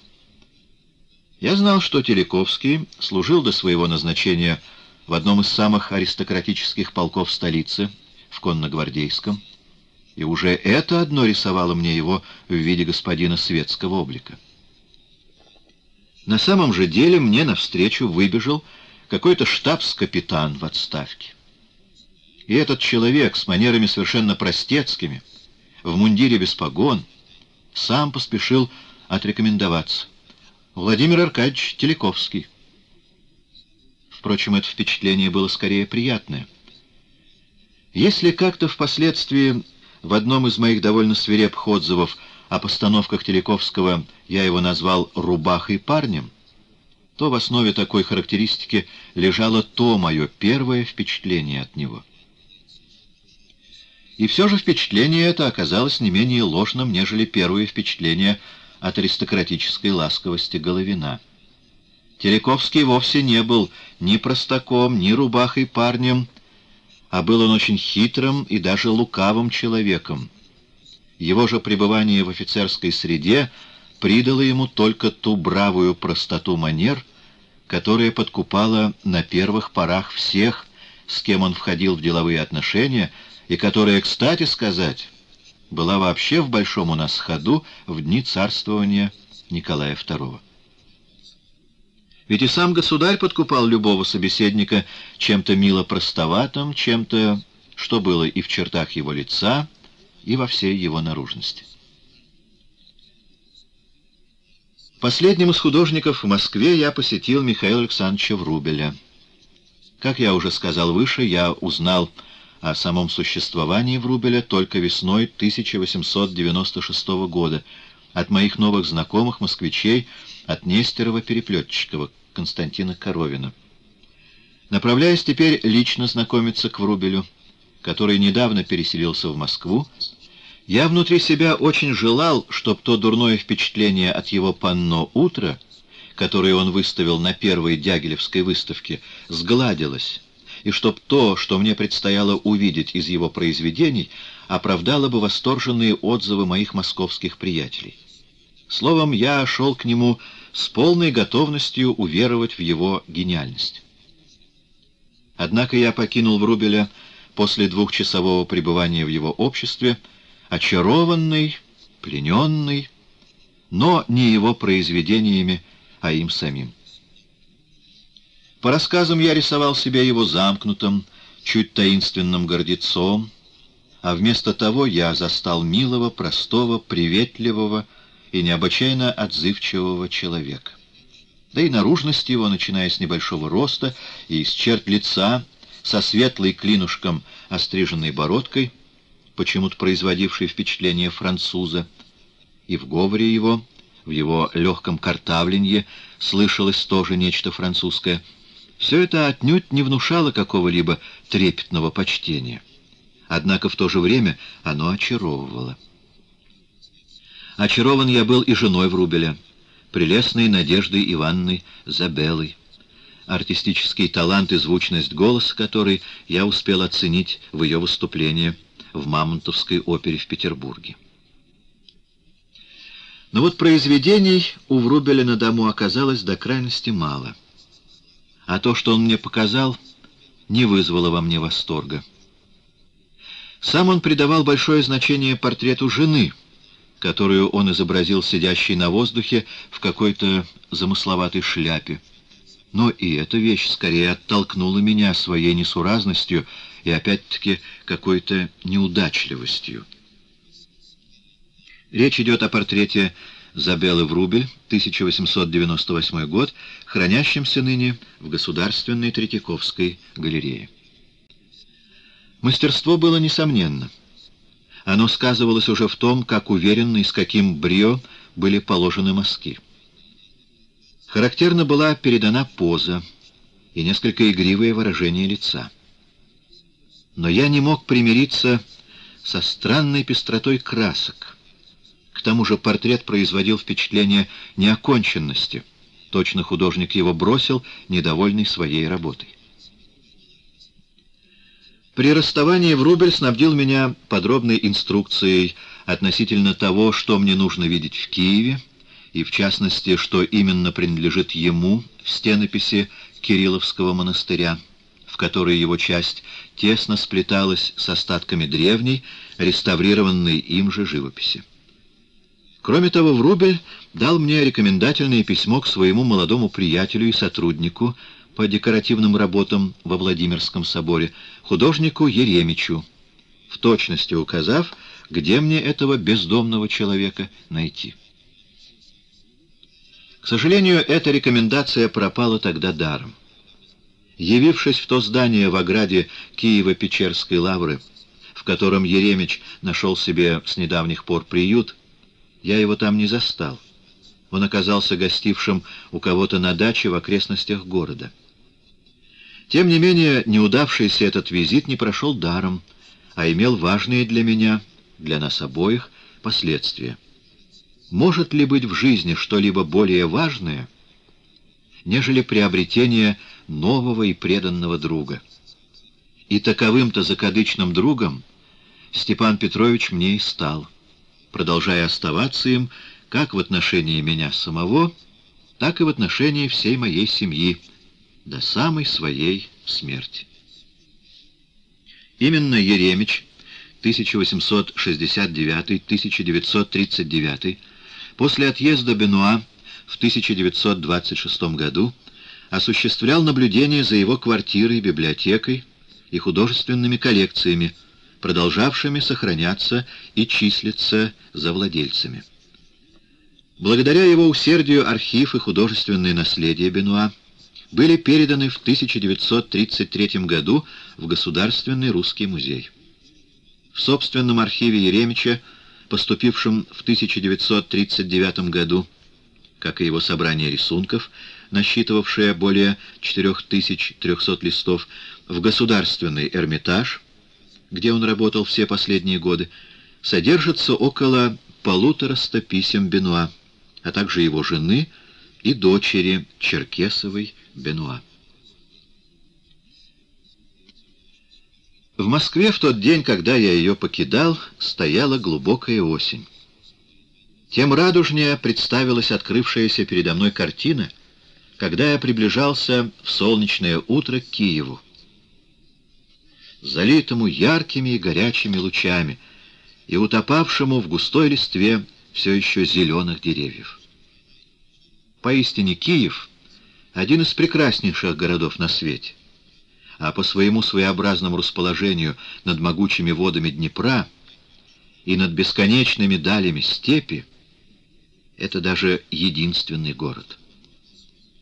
Я был в совершенном упоении — и все три дня, что пробыл в Киеве, не выходил из какого-то восторженного состояния. Главным образом, впрочем, этот восторг был вызван, так сказать, пейзажем, теми видами, которые открывались во все стороны, тогда как я был скорее разочарован и даже огорчен всем тем, что мне довелось там видеть из памятников искусства. Спору нет, что Софийский собор — одно из самых почтенных сооружений византийской архитектуры, а его мозаики принадлежат к самому значительному, что оставил по себе XI век. Но, к сожалению, снаружи собор совершенно утратил свой первоначальный вид и является собой с XVII века, если и нечто довольно эффектное, то отнюдь не такое, что свидетельствовало бы об его глубокой древности. Впечатление строгости теряется благодаря блеску золотых куполов и высокой барочной колокольни. Внутри же огорчает какое-то общее убожество, какая-то голизна, а местами просто безвкусие, благодаря вторжению всяких чужих элементов. Знаменитые мозаики не только не составляют одного целого с архитектурными массами, но как-то остаются сами по себе. Точно они занесены сюда случайно, или точно их доставили сюда, в это голое и унылое помещение, для какой-то временной выставки. Подобное же впечатление произвела на меня и лавра, в которой отсутствует то величие глубокой древности, которое ожидаешь от такой знаменитой святыни. Расположена лавра опять-таки живописно, а золото ее куполов сказочно поблескивает среди сочных куб украинских лип и тополей. Но как архитектурный памятник — лавру никак нельзя отнести к грандиозным и прекрасным целостностям. То ли дело какие-либо западные монастыри той же барочной эпохи, особенно в Швейцарии, в Австрии и в Южной Германии, или хотя бы как наш несравненный петербургский Смольный монастырь. Самое сильное из художественных впечатлений, испытанных мною в Киеве, я получил от Андреевского собора — от этой жемчужины времени императрицы Елизаветы Петровны, возвышающейся на самом краю обрыва, откуда открываются виды на Днепр и на простор полей. Этот вид — чудесное творение рук Божиих. Но чудесно вяжется с этой красотой и данное создание ума человеческого. Растрелли вложил в него все свое мастерство, все свое знание — все свое чувство пропорций, все, что в его искусстве представляет собой счастливое соединение особенностей итальянского и русского зодчества. Но, кроме того, любимец Елизаветы Петровны выказал здесь редкий вкус и такое изящное чувство меры, которых, пожалуй, не найти в его других, более значительных по размерам сооружениях невольно напрашивается на перо слово «игрушка». До такой степени формы Андреевского собора улыбчивы, до того они подкупают. Однако эти резвые и веселые формы рококо, которыми так удивительно владел Растрелли, оставаясь резвыми и веселыми, так явно и убедительно слагаются в некое песнопение во славу Божию. Увы, не нахожу в себе слов, подобных этим, для выражения впечатления, произведенного на меня Владимирским собором. Между тем я, главным образом, именно для него предпринял далекое путешествие. Задавшись целью написать историю русской живописи за последние два столетия, я не мог не высказать в ней свое суждение о таком значительном памятнике русской живописи, не увидав его собственными глазами в действительности. Владимирским собором русские люди той эпохи гордились так, как разве только современники Рафаэля и Микеланджело могли гордиться фресками обоих мастеров в Ватикане. Считалось, что в этих стенных картинах, и в особенности в колоссальном образе Божьей Матери с младенцем на руках, в полукружие апсиды, русское религиозное чувство вылилось целиком. Сотни тысяч наших соотечественников верили, что это так, а у некоторых это поклонение Васнецовской Мадонне доходило до известной экзальтации. Однако, увидав роспись Владимирского собора на месте, я простился с какими-либо иллюзиями. Я был глубоко огорчен, но огорчился я не столько по вине Васнецова, сколько потому, что энтузиазм — возбужденный у нас стенописью Владимирского собора, наглядно свидетельствовал о чем-то чрезвычайно неблагополучном в состоянии религиозного чувства во всем русском обществе. Подобное же огорчение охватывает меня ныне, в 1954 году, когда я усматриваю, в какое чудовищное изуверство превращается религиозное чувство части французского общества, допускающее всякие кривляния известного церковного снобизма. Все же фальшь Васнецова содержит в себе долю подлинного воодушевления. Лично к Васнецову я, обозревая живопись Владимирского собора, скоро исполнился известного почтения. Я увидал огромный труд, причем труд весьма одаренного художника. Но беда была в том, что этот даровитый мастер взялся за задачу, которая была ему не по плечу. Не дано личным одиноким усилиям при самой доброй воле в условиях современной жизни преодолеть тот гнет духовного оскудения, которым уже давно болеет не только Россия, но и весь мир. Фальшь, присущая стенописи Владимирского собора, не личная ложь художника, а ложь убийственная и кошмарная всей нашей духовной культуры. Еще более я был огорчен во Владимирском соборе своим другом Нестеровым. Его запрестольная картина, изображающая Рождество Христово, выдает и ужасающий дурной вкус, и нечто сладковато-дряблое, что художник пытается выдать за нежно-благоухающее. И это не была частичная неудача. Это выдавало в Нестерове нечто непреодолимое, что расцвело затем махровым цветом в его церковных картинах для церкви в Абастумане. В 1899 году Нестеров начал работу над росписями храма Александра Невского в Абастумане, которую он завершил только в 1904 году. Им была выполнена живопись иконостаса и царских врат, росписи в куполе-алтаре, в плафонах при входе, на стенах и на пилонах более 50 эскизов фигур и более 20 эскизов орнаментов хранятся ныне в Государственном русском музее. В них Нестеров проявил уже настоящее художественное ханжество. До этого момента я был склонен, закрывая глаза на многое, что мне претило, ждать от него какого-то исправления, какого-то поворота к тому, что тогда составляло прелесть его первых выступлений, его видение отрока Варфоломея и святого Сергия в лесной пустыне. Однако после того, что я увидел это Рождество, я понял, что Нестеров безвозвратно потерян для подлинного искусства. Этот человек таил многое весьма значительное, однако не то заботы суетного света — не то какой-то изъян в его духовном существе, не то помянутые общие условия культуры задушили в нем эти благие семена, и личность религиозного живописца Нестерова осталась каким-то печальным недоразумением. Впрочем, под конец жизни, когда в России водворилась власть, вообще чуждая религии, религиозные измышления Нестерова оказались ни к чему не применимыми. Он лучше нашел себя в писании портретов. Некоторые из них отличаются довольно сильной характеристикой.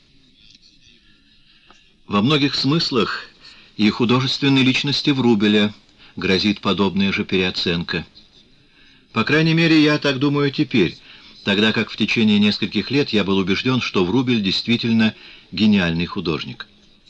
Спрашивается, однако, было ли то мое суждение вполне свободным, или оно зависело от разных влияний и больше всего от собственного желания в эту гениальность Врубеля поверить.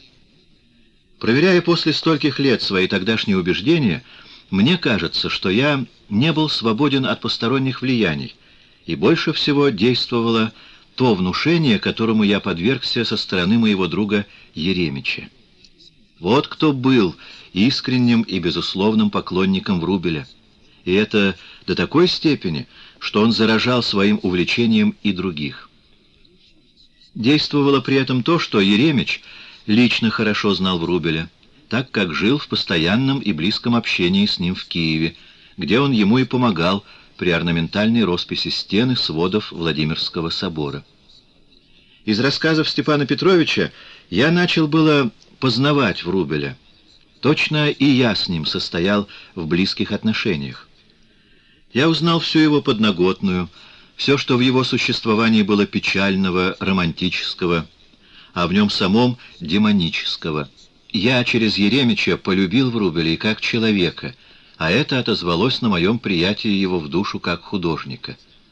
Постепенно, однако, это наваждение стало затем, уже после безвременной кончины впавшего в безумие художника, рассеиваться, и теперь у меня к Врубелю, как к человеку, если и осталось чувство большой нежности, пропитанное жалостью, если я и признаю, что это был один из самых действительно одаренных натур конца XIX века, то все же я должен признаться, что мое отношение к нему было когда-то преувеличенным, что гениальным по своим возможностям художник оставил по себе творение в целом фрагментарное, раздробленное и по существу такое, которое гениальным назвать нельзя.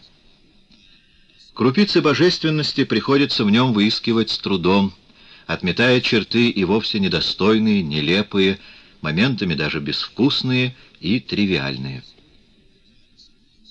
Однако я забежал вперед. Теперь же надо вернуться к осени 1899 года и к моему пребыванию в Киеве, отмеченному, кстати сказать, совершенно райской погодой, удивительной ясностью и теплом при полном отсутствии гнетущего зноя.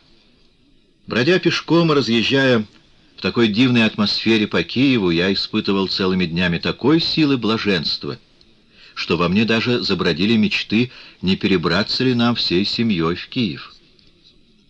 В последние из таких райских дней я побывал и в лежащем на окраине города Кирилловском монастыре, специально для того, чтобы ознакомиться в нем с работами Врубеля. Посвятил я этому обозрению часа три, и если и не покинул собор в состоянии какого-то восторга, то все же я был поражен тем, с каким мастерством написаны очень своеобразные местные образа в иконостасе, и особенно изображенная сидящей с младенцем на руках Богородица и с каким, я бы сказал, вдохновенным остроумием он же реставрировал древние фрески византийского характера, а местами заново сделал к ним добавления. Иные из этих добавлений прямо принадлежат целиком кисти Врубеля. Всюду пиетет к старине гармонично сочетается с порывами творчества свободной фантазии. Глава 34. Наше материальное положение. Мое преподавание в училище барона Штиглица. Еремич. Висенька Протеикинский. Скандал с Бакстом. Субсидия государя. Во время моего отсутствия наша новая квартира была приведена в полный порядок, и я смог уже ощутить ее как действительно мой дом. Жизнь потекла безмятежно, и на первых порах не обремененные теми насущными материальными заботами, которые периодически так меня мучили в дальнейшем. Хоть мы и дали себе слово обращаться с полученными по наследству деньгами с величайшей бережливостью, все же приходилось затрагивать капитал, так как проценты с него были недостаточны даже для нашего очень скромного бюджета — Однако сознание того, что довольно значительный запас все же имеется, действовал успокаивающим образом. Что же касается других заработков, то намечалась служба в художественном училище барона Штиглица, куда я был приглашен в качестве преподавателя по истории стилей, но по условию с директором училища, архитектором Котовым, я должен был приступить к своим лекциям только с Нового года — так как мне нужно было основательно к ним подготовиться. В 1879 году в Петербурге на средства крупного финансиста Штиглица 1814-1884 годы было основано Центральное училище технического рисования, имевшее целью развития художественной стороны отечественной промышленности. В нем существовали классы натурной, майолики, декоративной живописи и резьбы, ксилографии и афорта, живописи на фарфоре, рисования на ткани и набивного дела и другие. К этой подготовке я, параллельно с моим изучением прошлого русской живописи, теперь и приступил. Впрочем, надо прибавить, что в смысле заработка эта служба не обещала мне дать обеспечение. Жалование было совершенно ничтожное, и согласился я на приглашение Котова только для того, чтобы как-либо заявить о себе.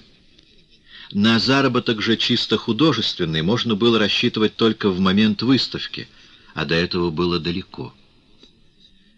Через несколько недель после нашего водворения в Петербурге явился без предупреждения тот киевлянин, Еремич, которому меня направил в Рубль.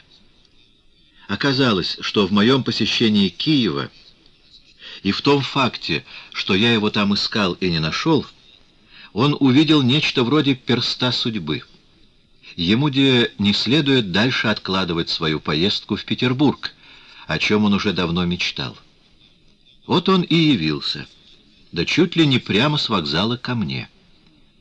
Будь это другой человек, я, вероятно, испугался бы такой стремительности — я бы заподозрил, что меня этот незнакомец собирается использовать для своих, бог знает каких целей. Однако один вид Степана Петровича и вся его манера сразу так меня расположили к нему, что я его принял с исключительным радушием, сразу почувствовав в нем единомышленника или единодушника. Что касается наружности Еремича, то перед нами предстал довольно высокий, несколько худощавый человек лет 25, не более, рыжеватый блондин, с головой на шее несколько преувеличенной длины, со стриженной клинушком бородкой и с удивительно розовенькими, совершенно младенческими щечками. Он чуть прихрамывал, и происходило это от какого-то природного дефекта в ступне, вследствие чего он и обувь носил по специальному заказу но эта еле заметная хромота не мешала Еремичу быть неутомимым пешеходом. Говорил он с едва уловимым украинским акцентом, придававшим, однако, своеобразную прелесть его речи. Вначале Еремич, видимо, робел, но впоследствии я убедился, что он вообще несколько утрирует свою природную робость, пользуясь ею как некоторым средством нравится. Он охотно улыбался, приятно и часто смеялся. Сразу же стала приметна его склонность соглашаться с собеседником, но это его соглашательство не означало какого-либо заискивания, а обнаруживало лишь чрезвычайную мягкость характера и, пожалуй, известную шаткость собственных убеждений. Впрочем, в каких-то главных вопросах между нами сразу наметилось действительно большое единодушие. Были у Степана Петровича и разные причуды, но они только придавали ему лишний шарм. Одна из самых курьезных причуд была та, что он ни за что не желал сообщить, сколько ему лет. Но и это было какое-то кокетство несколько женского оттенка. Женские черты вообще преобладали в его характере. Никогда он не говорил ни о своем прошлом, ни о своем происхождении, ни о своих родных, и лишь случайно много лет позже я узнал, что его отец принадлежал к духовному званию. Пожалуй, нечто от семинариста или бурсака было и в Степане Петровиче. Но он был бы ужасно огорчен, если бы узнал, что производит такое впечатление, и что таинственность, которой он себя окружил, была отчасти разоблачена. Во всяком случае, детство и ранняя юность у него были, вероятно, незавидными и чем-то таким, о чем неприятно вспоминать. Это не мешало ему интересоваться детскими и юношескими годами других и вообще знать толк в этой не всякому доступной области. Окутано тайной было и его образование. Он едва ли прошел весь курс среднеучебного заведения и уже, наверное, не побывал в университете, но это вовсе не помешало Еремичу принадлежать к числу людей высокой и глубокой культуры. Он, вероятно, самоучкой, движимый ненасытной потребностью познания, дошел до всего.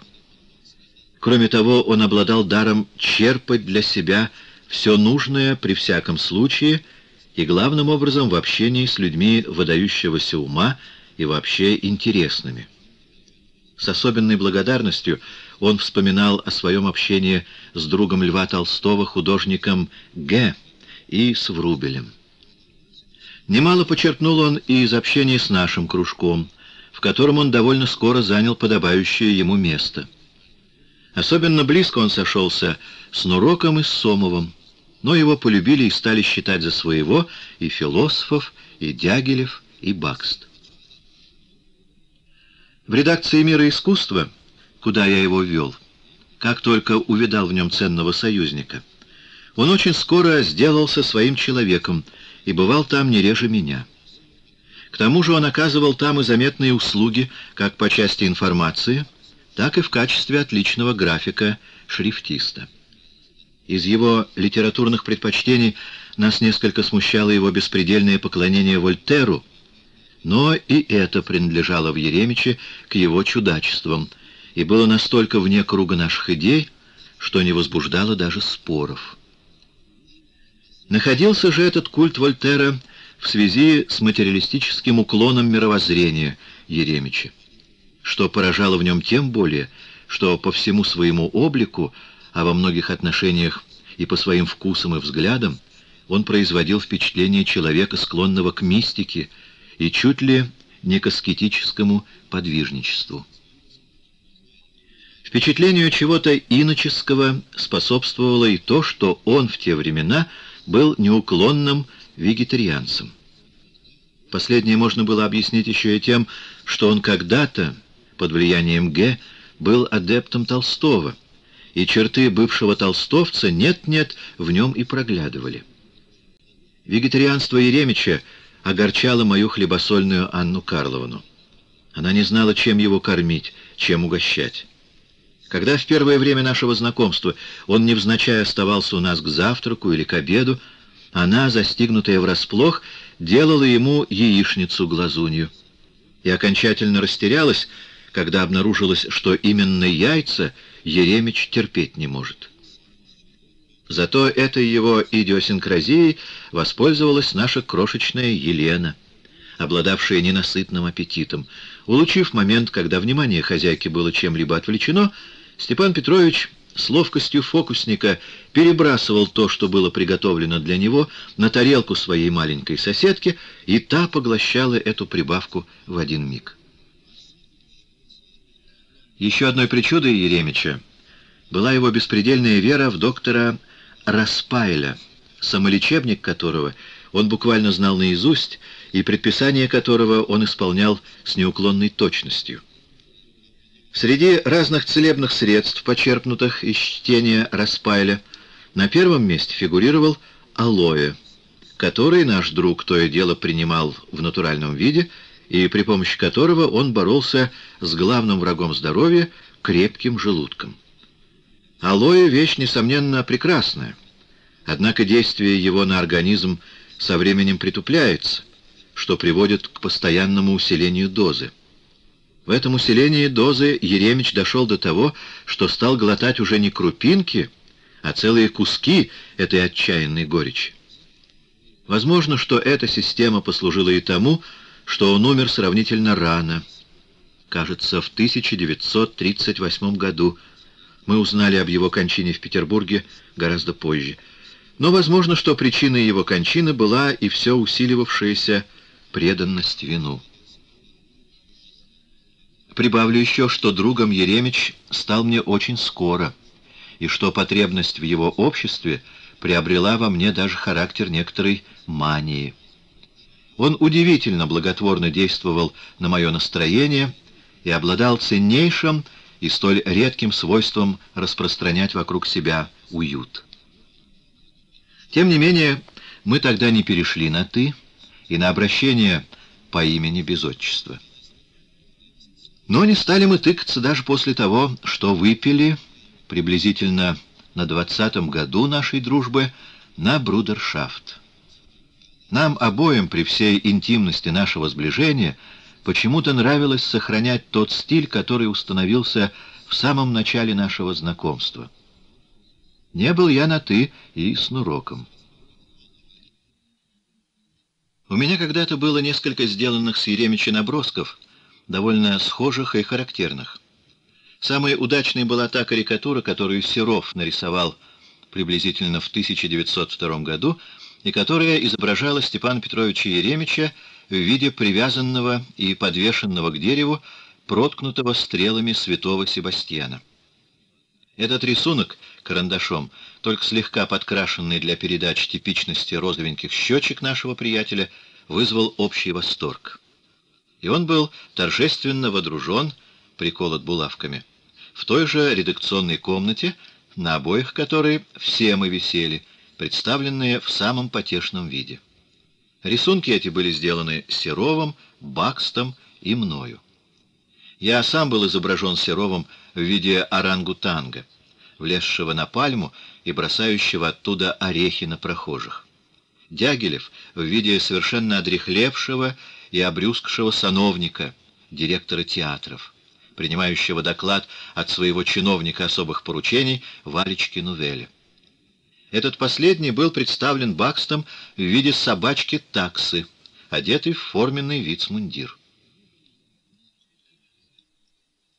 Не был я на «ты» со Стипом, так его прозвали наши дети. Но не перешел я на «ты» и с другим довольно близким нам человеком, с Висенькой.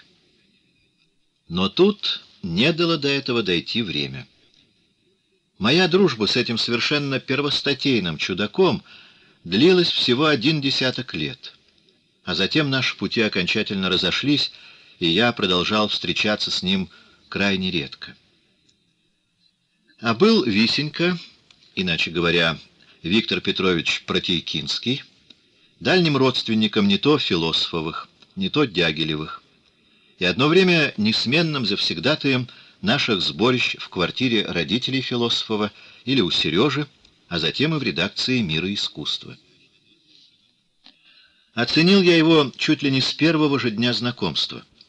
Но короче мы сошлись, когда Висенька стал бывать у меня чуть ли не ежедневно. И это потому, что он по моей просьбе взял на себя корректуру моей истории русской живописи. То был мой первый, предназначенный для печати труд.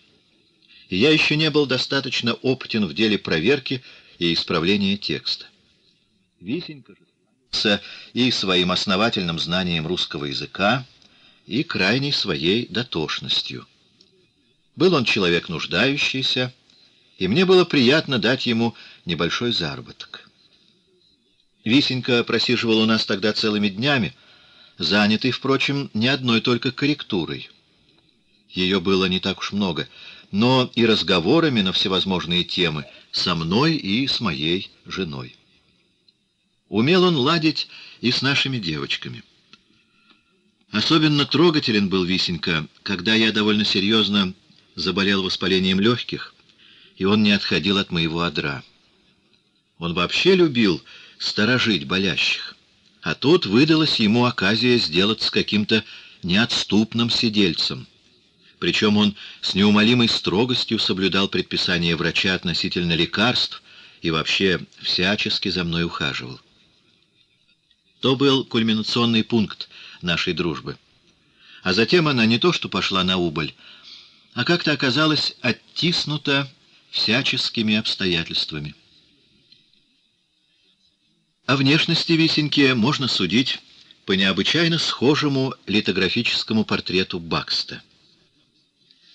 Этот портрет помещен среди десятка других оригинальных литографий в альбоме, изданном «Миром искусства» около 1900 года.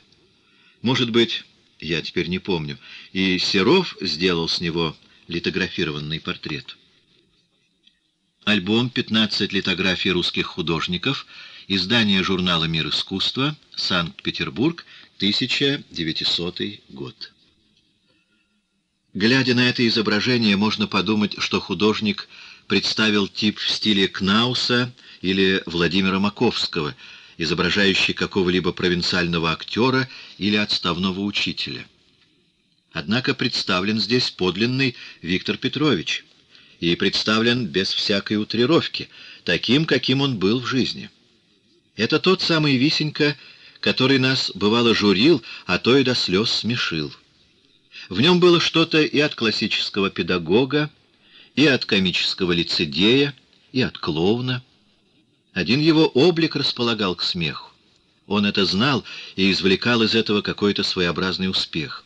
Он любил смешить, но вызывал смех отнюдь не какими-либо анекдотами или острыми словечками, а длиннейшими рассказами, едва ли ненамеренно сумбурными, либо блестящими спорами, точнее, речами дискуссионного характера.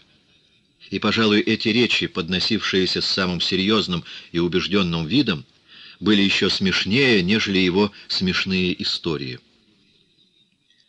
Надо себе при этом вообразить довольно коротконогого человека с физиономией гениального музыканта.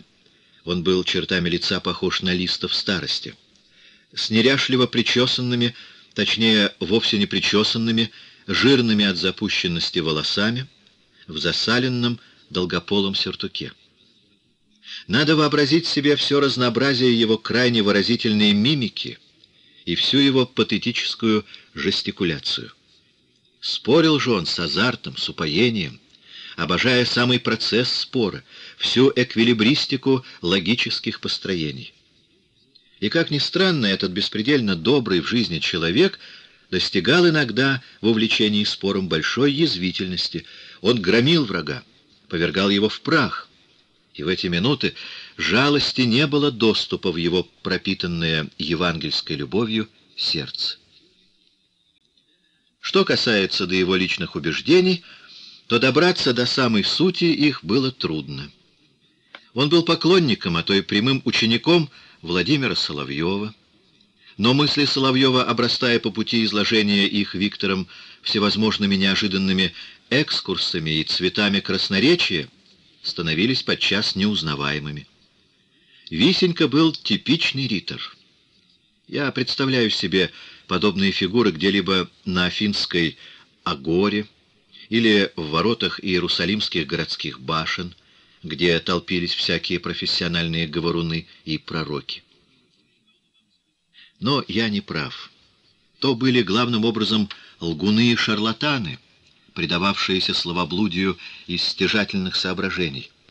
Душа же Висеньки была кристаллической чистоты — и даже тогда, когда, увлекаемый собственным красноречием, он впадал в путанный лабиринт парадоксов, он оставался по существу правдолюбцем. Назвать его пустым краснобаем никак нельзя. Он верил в то, что вещал. Он горел желанием заразить других своим ощущением правды.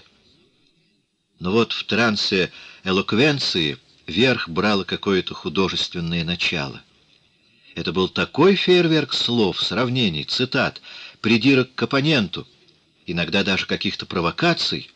Все это так переплеталось с бичующим юмором, во всем этом было столько актерского парада, что это отнимало у его речи убедительность. Возникали сомнения в том, искренен ли Висенька, или он только дурачит и себя, и других.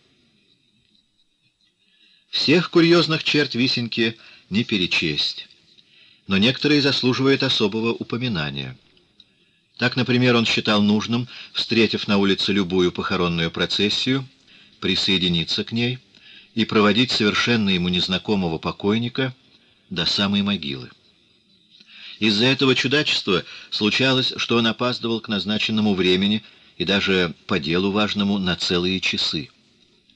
Целомудренность Висеньки не шла ни на какие уступки, и раза два-три происходили на наших сборищах настоящие скандалы, потому что мы забывали, что в его присутствии нельзя говорить каких-либо сальностей, между тем, как это было общей для всей компании с самых гимназических лет, весьма непохвальной, но и безобидной привычкой.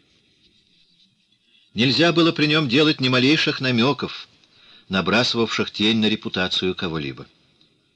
При этом не мешает заметить, что родной брат Висеньки, с которым он жил в одной квартире, был на весь город известным гомосексуалистом, А это в то время было чем-то еще бесконечно более предосудительным, нежели это стало впоследствии. Мы этого брата никогда не видели, но шла молва, что он во всем является полным контрастом Виктора Петровича. Насколько последний был неряшлив и даже попросту грязен, настолько тот был фотоват, изящен в своих одеждах и отличался щегольской опрятностью, что должно было ему придавать при его горбатости особую карикатурность. Из особенно смешных эпизодов нашего общения с Виктором у меня в памяти остались два, принадлежащие вообще к самым веселым минутам, когда-либо мной пережитым. Я и все друзья дохохотались при этих случаях буквально до упаду, до настоящих болезненных корчей. Но для того, чтобы убедительно выразить, в чем тут была соль, потребовался бы юмористический гений Диккенса или Гоголя. В первом случае, это происходило еще в самом начале пребывания Дягилева в Петербурге, у него в снятой им отдельной квартире, мы еще мало знали Висеньку, он вздумал заступиться за одну даму-благотворительницу, известную всему городу, а как раз тогда оказавшуюся замешанной в какую-то скандальную историю, произошедшую в одном опекаемом ею приюте. Ходили слухи, что в этом заведении были обнаружены ужасающие и притом коллективные непотребства среди презреваемых юных сирот, причем цитировались и имена тех патронесс, которые не только эти непотребства допускали, но и сами принимали в них участие.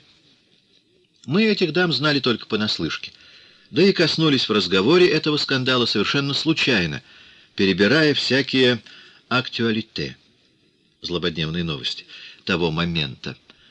Но оказалось, что Виктор Петрович отлично обо всей этой истории осведомлен, что этим заподозренным дамам он благоволит, и потому он, вмешавшись в нашу беседу, сразу взял тон адвоката, защитника в деле ему во всех подробностях знакомым. Эта-то защитительная речь Виктора Петровича, начавшаяся, когда уже пробила полночь, и мы уже собирались разойтись по домам, продлилась затем полных три часа без передышки. Он не давал никому вставить слово, но речь эта была до того блестящая, и до того смешна, что мы постепенно из равнодушных и даже немного досадующих слушателей превратились в людей живейшим образом заинтересованных, а к тому же как-то опьяненных стихией смеха. Если же меня теперь спросят, что же было столь смешного в этом выступлении, то я не сумею объяснить. Известная доля комизма заключалась во всяком случае в том, как целомудренный Висенька, взявшийся за такую скобрезную тему, лавировал между весьма рискованными деталями, и все же по необходимости в интересах своей защиты касался их и даже вдавался во всевозможные технические подробности. Все это, сказанное с абсолютно серьезным видом и даже с видом величайшего удручения, обиды за невинно заподозренных, со всеми интонациями заправского присяжного поверенного, приобретала такую степень гротеска, что тут только оставалось отдаться смеху. Точно перед нами не уважаемый собеседник, а какой-то блестящий шут-пародист. Первый час речи все еще как-то крепились, так как опасались как бы не обидеть милого человека. Но когда внезапно прыснул Дима Философов, а Висенька не обратил на это ни малейшего внимания и отнюдь не смутился, то постепенно один за другим и все прочие дали волю своему веселью. Второй незабываемый сеанс смеха, вызванного Висенькой, произошел на одном из заседаний религиозно-философского общества. Виктор был, кажется, членом общества и, во всяком случае, непременным посетителем его собраний — причем он почти каждый раз выступал с теми или иными возражениями, а то и с каверзными вопросами, обращенными к уважаемому докладчику. Председателю приходилось не раз и даже не без строгости призывать его к порядку, усматривая нечто вроде провокационной западни в этих неожиданных выступлениях Виктора. Но в тот вечер Висенька заблаговременно сам записался в качестве докладчика, и ему, по правилам наших собраний, нельзя было не предоставить высказаться полностью. Председательствовал на этом вечере как раз философов, который в перерыве всячески убеждал своего родственника сократить длину своей речи и сдержать свой азарт. Но ничего не помогло. Виктор Петрович влез на кафедру, таща за собой тяжелую охапку книг и каких-то религиозных журналов. И вот свою речь он поминутно уснащал цитатами, которые он черпал по закладкам из этих томов и брошюр, манипулируя ими с чисто жонглерской ловкостью. Это происходило в помещении польского женского клуба на Фонтанке, где наше общество временно устраивало свои заседания после того, как мы перестали пользоваться гостеприимством географического общества на театральной улице. Надлежало уличить в противоречиях какого-то особенно Виктору не полюбившегося священника, фамилию я забыл, выступавшего на предыдущем собрании. Речь этого почтенного с виду довольно тучного и довольно сыновитого папа показалась нам тогда не особенно интересной, и выслушали мы ее скорее со скукой. Но не безразлично отнесся к ней Висенька. Он заподозрил священнослужителя в чем-то сугубо еретическом и счел своим долгом эту ересь разоблачить и разбить. Началось и тут с очень солидного и даже строгого вступления — но постепенно оратор стал увлекаться своей задачей выставить оппонента в смешном виде, для чего ему и понадобились все принесенные с собой книги. Дело в том, что одна часть цитат из книг была когда-то высказана тем же духовным лицом, и вот оказывалось, что те прежние его мысли были в полном противоречии с тем, что он говорил в последнем собрании. Другая же часть цитат — являлась текстами разных авторов, на которые ученый-батюшка ссылался, но которые, прочитанные Виктором с надлежащим выражением, приобретали совершенно новый смысл. И опять на сей раз какая-то стихия смеха стала овладевать Висенькой, заражая всю аудиторию. Тщетно председатель пытался остановить расходившегося обличителя, тщетно раздавался его звонок, Висенька не унимался — и все дальше и дальше углублялся в дебри своей казуистики. Никакие силы остановить его не могли. Уже давно весь зал стонал от хохота, а несчастный батюшка, красный как рак, сидел в первом ряду, лишь изредка пытаясь выразить протест. Книги с цитатами подскакивали в руках Висеньки, и слова, слова, слова продолжали литься непрерывным потоком. Букетом этого своеобразного спектакля явилось то, что сам председатель наконец не выдержал и разразился неудержимым смехом, после чего и Виктор Петрович последовал за ним, на чем и закончилось это единственное в своем роде словопрение. Время оказалось очень позднее, и когда хватились посрамленного батюшки, то его и след простыл. Он бежал с поля сражения. В последующие годы и я, и вся наша компания все реже стали встречаться с милым Виктором Петровичем, а о кончине его я узнал уже по прошествии некоторого времени. Это случилось в первые годы Первой мировой войны, или немного раньше, возможно, что я был в это время в Москве. Философов присутствовал при кончине своего родственника. Его позвал брат Висеньки, когда положение последнего стало безнадежным. Тут только философов узнал, что Висенька уже давно хворает, и что к физическому недугу, что-то в связи с грыжей или с кишечником, присоединилось и нечто психическое, род тяжелой афазии или ипохондрии. Уже более месяца, как Виктор не покидал своей комнаты и не сходил с постели, пренебрегая даже самыми элементарными требованиями гигиены при исправлении своих нужд. Он буквально оброс собственными нечистотами. И запах в его полутемной конуре стоял такой, что философову сделалось дурно, когда он в нее проник. Виктор тотчас был перевезен в больницу, где его сначала не без труда всего очистили, а потом посадили в ванну. И тут случилось нечто удивительно трогательное. Он, совершенно забывший ощущение прикосновения теплой воды к телу, принял это пребывание в ванне за райское блаженство. Как малый ребенок он плескался, забавляясь возникавшими пузырями.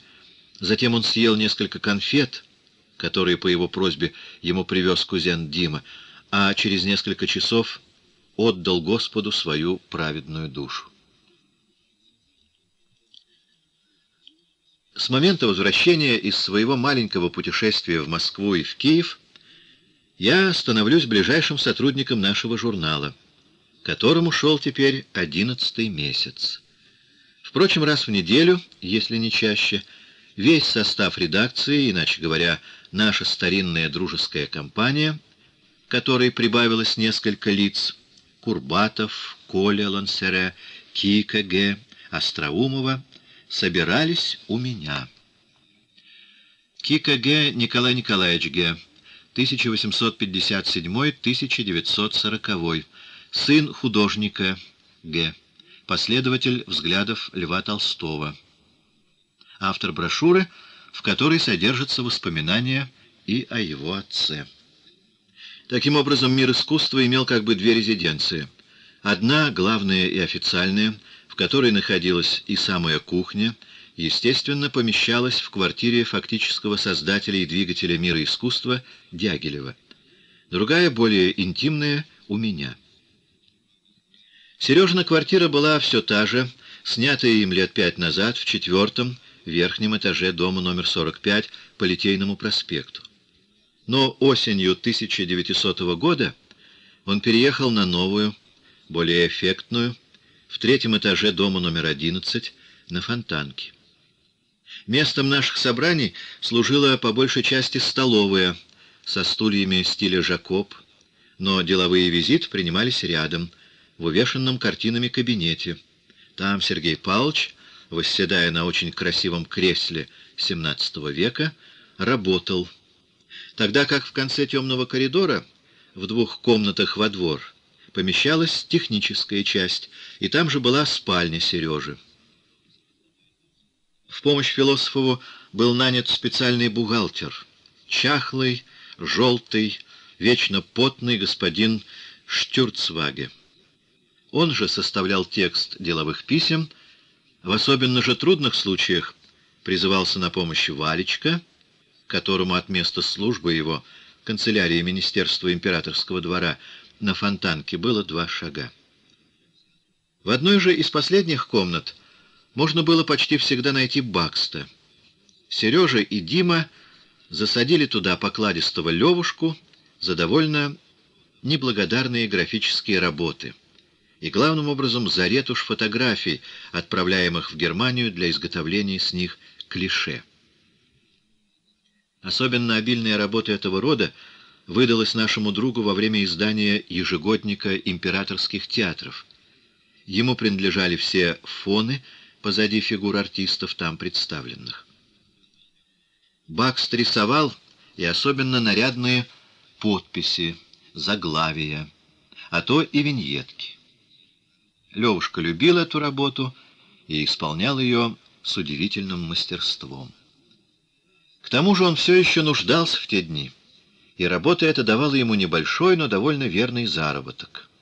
Платили гроши за аналогичные работы и Жене Лансере, вскоре и Еремичу, а там еще позже Добужинскому, Белибину и Замирайле.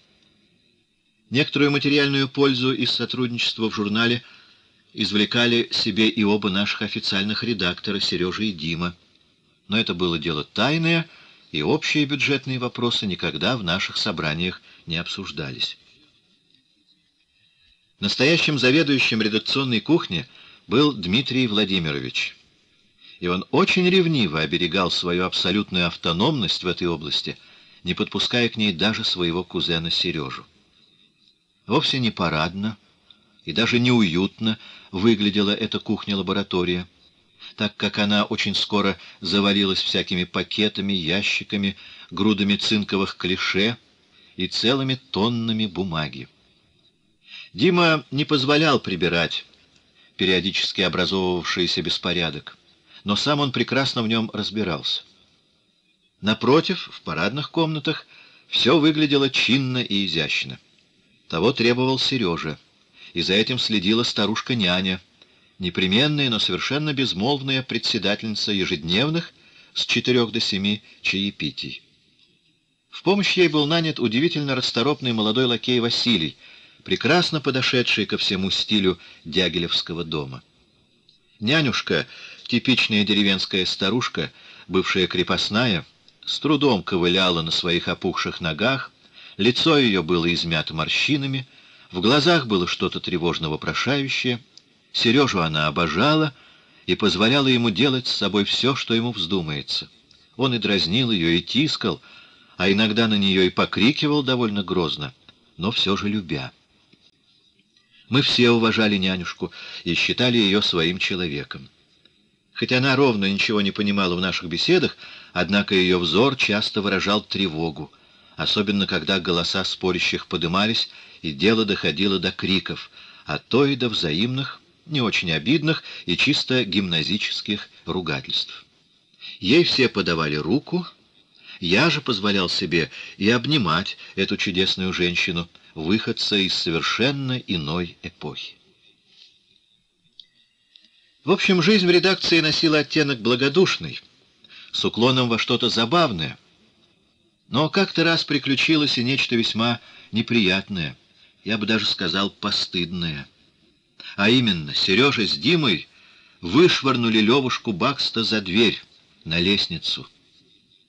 Так-таки схватили, сволокли его, сопротивляющегося и негодующего, до входных дверей и вытолкнули на площадку, выбросив вслед и зимнее пальто, и шапку, и калоши.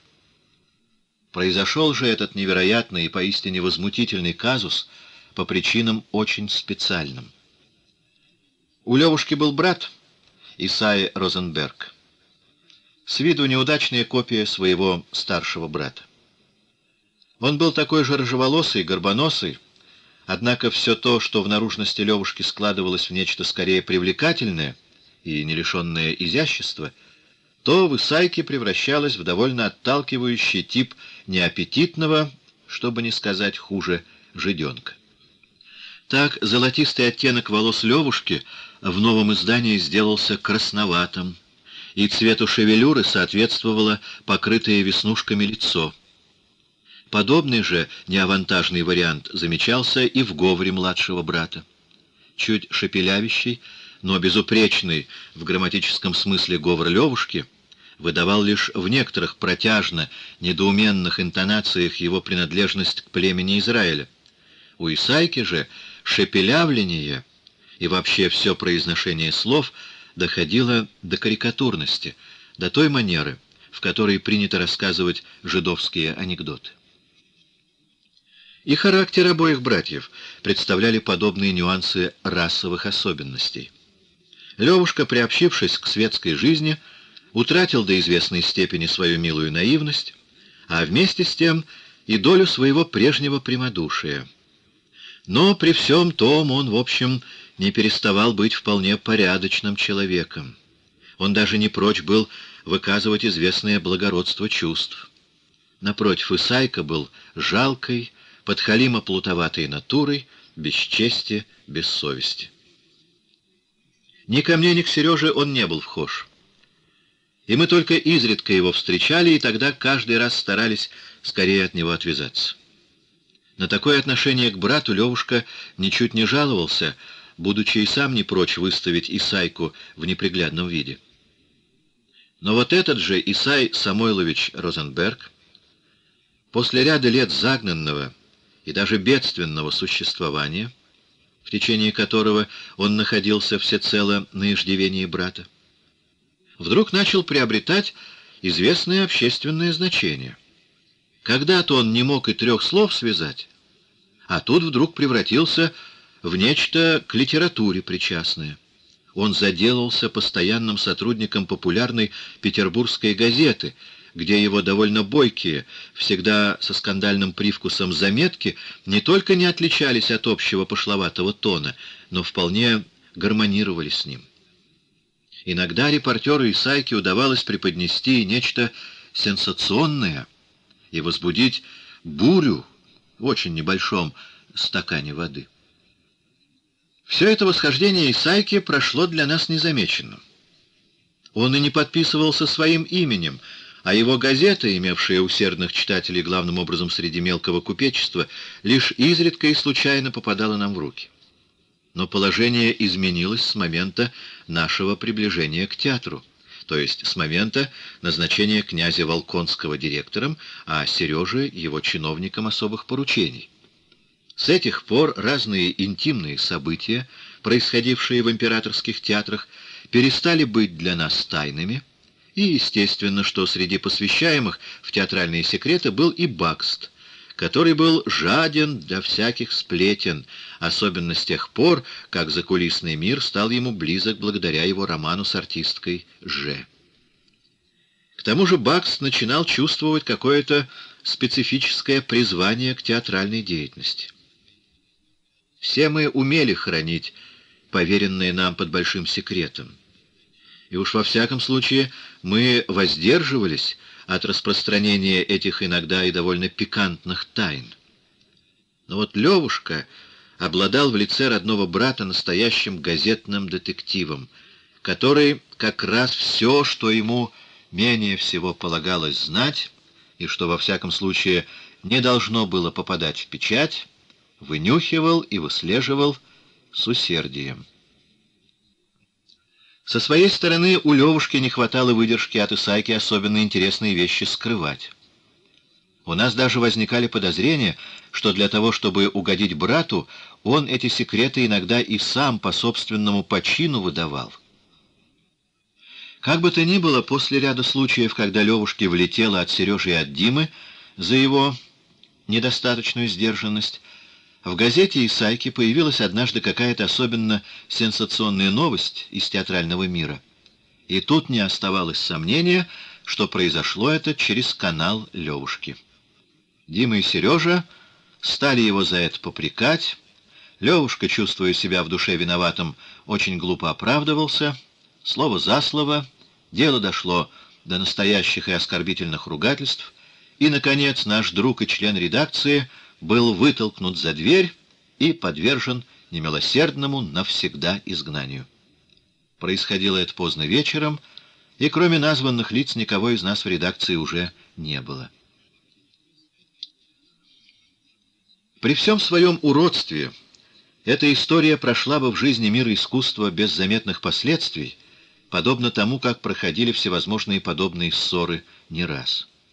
Ведь уже через неделю вышвырнутый Левушка восседал, как ни в чем не бывало, в своей рабочей комнате в конце коридора и усердно ретушировал фотографии, а, выйдя к чайному столу, он принимал со всегдашним своим веселым добродушием участие в общей беседе. Да и мы пожурили Диму и Сережу за их безобразный поступок, но поспешили забыть то, что они сделали. Совсем иначе взглянул на случившееся Костя Сомов. Он не только принял к сердцу обиду, нанесенную другу, но решил из-за этого порвать с Сережей и с Димой. А решение свое безотлагательно привел в исполнение, послав по адресу Дягилева негодующее письмо, в котором он в очень резкой форме объявил, что покидает мир искусства и отныне вообще не желает продолжать знакомство с его редактором. Сережу это письмо бесконечно огорчило. Из всех своих друзей-художников Дягилев возлагал именно на Сомова самые большие надежды. И выражалось это в каком-то постоянном ухаживании за ним, и даже в самом тоне, в котором он к нему обращался. Как раз тогда, незадолго до скандала, он заказал Косте от имени дирекции театров несколько программ для эрмитажных спектаклей — да и новая прелестная обложка журнала, заменившая неудачную Коровинскую с начала 1900 года, была сделана по рисунку Сомова. И вдруг такой оборот. И за что же? За то, что немножко бесцеремонно было поступлено с Бакстом, чему ведь имелись многие аналогичные прецеденты. Сережа, получив письмо, сразу примчался ко мне. И чуть ли не со слезами на глазах — потребовал от меня, чтобы я немедленно устроил его примирение с Сомовым. Я поспешил с этим поручением и тотчас же поехал к Косте, у которого встретил Нувеля. Соединенными усилиями мы стали убеждать нашего друга, чтобы он сменил гнев на милость. Но никакие доводы и убеждения не смогли сломить упрямство Сомова. Он остался при своем, и это решение порвать как с Сережей, так и с Димой он затем провел на деле, если и не с полной выдержкой, то все же в достаточно показной демонстративной форме. Должен сказать, что мне это упорство Сомова тогда же показалось несколько странным. Раз сам пострадавший снова появился у Сережи, то решение Кости быть более роялистом, чем сам король, с очевидностью показывало, что для него разрыв является лишь чем-то желательным, что он ухватился за первый представившийся предлог. Тут могло играть роль и нечто старое, издавна затаенное. Несомненно, на Костю, такого тихого, деликатного, особенно болезненно действовал весь жанр Дягилева, его заносчивость, его барские замашки. Все это до того не нравилось Сомову, что он при всей своей чуждости к аристократическим предрассудкам все же считал Дягилева за своего рода выскочку, тогда как он, Сомов, потомок татарских царевичей и принадлежащий к одному из стариннейших дворянских родов, записанных в шестой бархатной книге, и не помышлял показывать свою подлинную принадлежность к благородному сословию. Так назывался один из древнейших родословных списков Российской империи, составленный еще в конце XVII века и сохранявшийся в малиновом бархатном переплете в департаменте Герольдии в Сенате. В дальнейшем создавались все новые родословные книги русского дворянства, на которые позднее переносилось и выражение «бархатная книга». Кроме того, возможно, что в ненависти к Дягилеву у Сомова могли быть и чисто личные, интимнейшего порядка основания. Хоть уже прошла институтская нежность и квазивлюбленность между ним и Философовым, хоть с момента выхода Сомова из гимназии общение между обоими юношами почти и вовсе прекратилось, Сомов никогда не заходил к Философовым, Однако все же не исключена возможность, что он не без горечи переносил то явное предпочтение, которое оказывал его бывший, его самый сердечный друг к пришельцу. Как бы то ни было, разрыв Сомова с Дягилевым из-за Бакста произошел. Мои старания не привели ни к чему и после того, что я устроил встречу, неожиданную для Сомова, заранее условленную для Дягилева, у себя. И я их при появлении Дягилева, во время того, что Сомов сидел у меня, заново познакомил.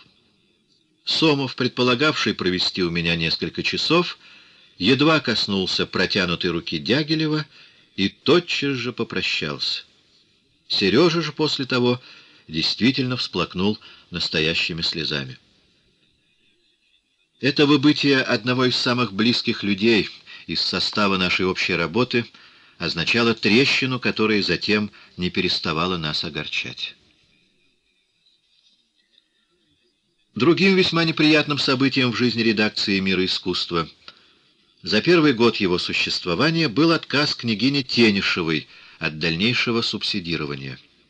Этот удар был тем более ощутителен, что и другой наш меценат, Савва Иванович Мамонтов, незадолго до того уже отказался нести взятую им на себя часть расходов по изданию журнала. Но в Мамонтове действовал не каприз, не обида, не разочарование, а то, что Савва Иванович оказался сам в очень тяжелом финансовом положении. Он был отдан под суд. Я никогда в точности не знал, в чем дело, но то было нечто связанное с его многочисленными и частью очень рискованными предприятиями, и к чему-то приговорен, что его совершенно разорило. В 1899 году Мамонтов был арестован по обвинению в финансовых злоупотреблениях и посажен на скамью подсудимых. Несколько месяцев он провел в тюрьме, Семь дней длился процесс, взволновавший всю Россию. Мамонтов был оправдан. То, что ему инкриминировалось, присвоение огромных сумм в целях личного обогащения, на самом деле оказалось лишь халатностью и игнорированием буквы законов финансовой дисциплины. Мамонт в такой ловкий, отважный и толковый в делах художественно-творческого порядка запутался в делах просто деловых. Для мира искусства, только что тогда начинавшего свою деятельность и встречавшего в широкой публике далеко не сочувственные отношения, эти две измены могли бы стать просто роковыми. Некоторое время мы осенью 1899 года и жили в том убеждении, что песенка журналу спета, что мы вскоре перестанем фигурировать на общественной арене в качестве чего-то сплоченного и тем самым значительного. Но тут произошло чудо. Спас нас сам царь-батюшка, а точнее спасло заступничество перед ним Серова. Зная вкусы государя в искусстве, или скорее его равнодушие к художественным вопросам, мы менее всего могли ожидать, что помощь явится с этой стороны.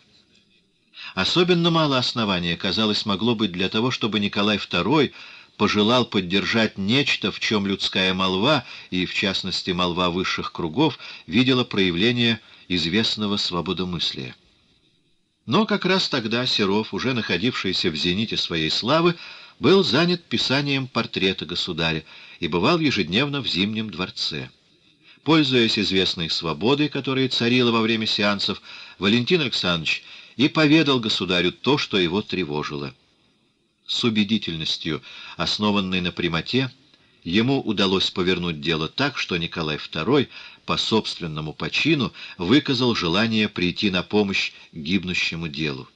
Эта помощь, выдававшаяся из собственной его шкатулки, ограничилась всего десятью тысячами рублей, что в то время равнялось 25 тысячам франков. Но этого было достаточно, чтобы продлить жизнь журнала.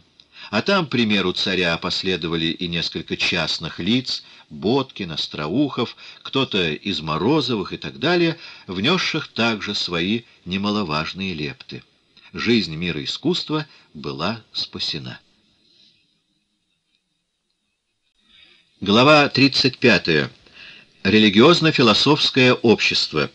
Кружок Мережковских. Розанов.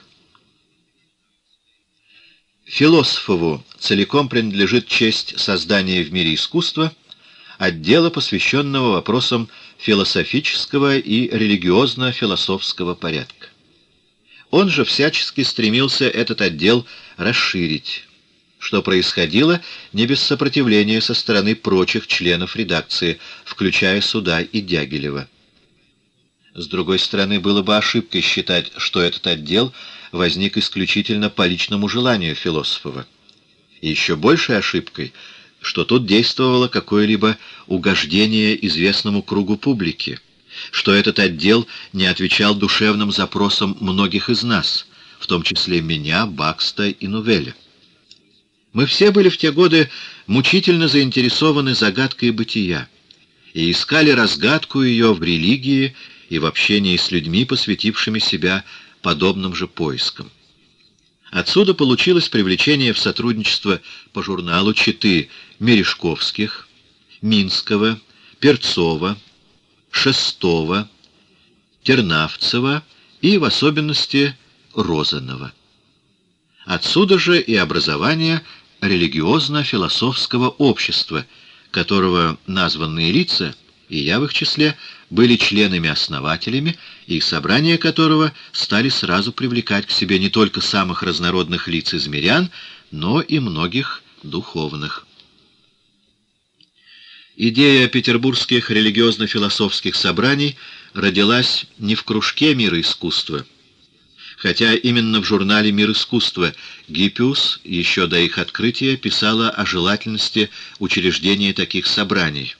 Гиппиус Мережковская, Дмитрий Мережковский, Париж, 1951 год, страница 83.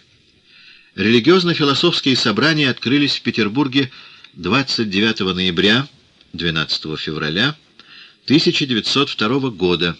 Председателем их был ректор Петербургской духовной академии, епископ Ямбурский Сергий, членами-учредителями Мережковский, Розанов, Тернавцев, Миролюбов. Смотрите Евгеньев-Максимов и Максимов из прошлого русской журналистики, статьи и материалы, Ленинград, 1930 год. Минский Николай Максимович, 1855-1937, поэт и писатель. В 1884 году выступил с первой в России программой декадентов. Философские взгляды Минского были эклектичны, общественная позиция не всегда последовательна. Перцов Петр Петрович, 1868-1947, литературный критик и публицист, один из зачинателей символистского движения, был издателем религиозно-философского журнала «Новый путь» 1903-1904 годы. Шестов Лев, псевдоним Шварцмана Льва Исаковича, 1866-1938, философ-экзистенциалист, литературный критик и публицист, с 1920 года в Париже. Тернавцев Валентин Александрович, 1875-1940, богослов, автор исследования об апокалипсисе. На первом заседании религиозно-философских собраний прочел доклад «Русская церковь перед великой задачей. Интеллигенция и церковь». Розанов Василий Васильевич, 1856-1919, писатель, религиозный мыслитель, публицист, автор бессюжетной эссеистско-дневниковой прозы «Уединенная», 1912, «Опавшие листья», тома 1-2, 1913-1915 и другие. Религиозно-экзистенциальные умонастроения Розанова сочетались с апофеозом пола, семьи, частной жизни и одновременно с критикой христианского аскетизма. Его общественным взглядам были свойственны непоследовательность и аполитизм, что вызвало критику Ленина. Полное собрание сочинений, том 25, страница 172. То была пора, когда в православном духовенстве стало намечаться стремление к известному обновлению и к освобождению от гнетущего верноподданничества и от притупляющей формалистики. Именно с целью войти в контакт с духовными пастырями и в надежде, что это сближение поможет нам во многом и в самом главном разобраться – были предприняты шаги, среди которых одним из самых важных, казалось нам, было личное знакомство с петербургским митрополитом Антонием. И спросив через Тернавцева, состоявшего на службе в Святейшем Синоде, аудиенцию, мы в один прекрасный вечер и отправились небольшой группой в Лавру, где наша разношерстная и для тех мест весьма необычайная компания была принята с видимым любопытством. Участвовали в этой поездке супруги Мережковские, Тернавцев, Минский, Розанов, Философов, Бакст и я. Мережковский и Минский изложили его высокопреосвященству наши вожделения и надежды, и главную среди них надежду на то, что духовные пастыри не откажутся принять участие в наших собеседованиях. Запомнилось, как, между прочим, до поездки обсуждался вопрос подходить или не подходить под благословение, и как это производить, лобзать или не лобзать руку Иерея. А после аудиенции более всего разговору было о поразившем нас белом клобуке с бриллиантовым крестом и о красоте и величественно ласковой осанке митрополита Антония. В общем, все сошло как нельзя лучше.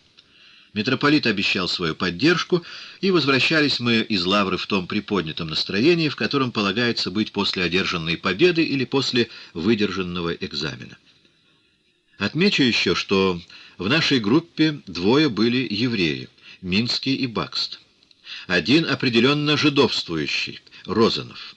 Один католик — я.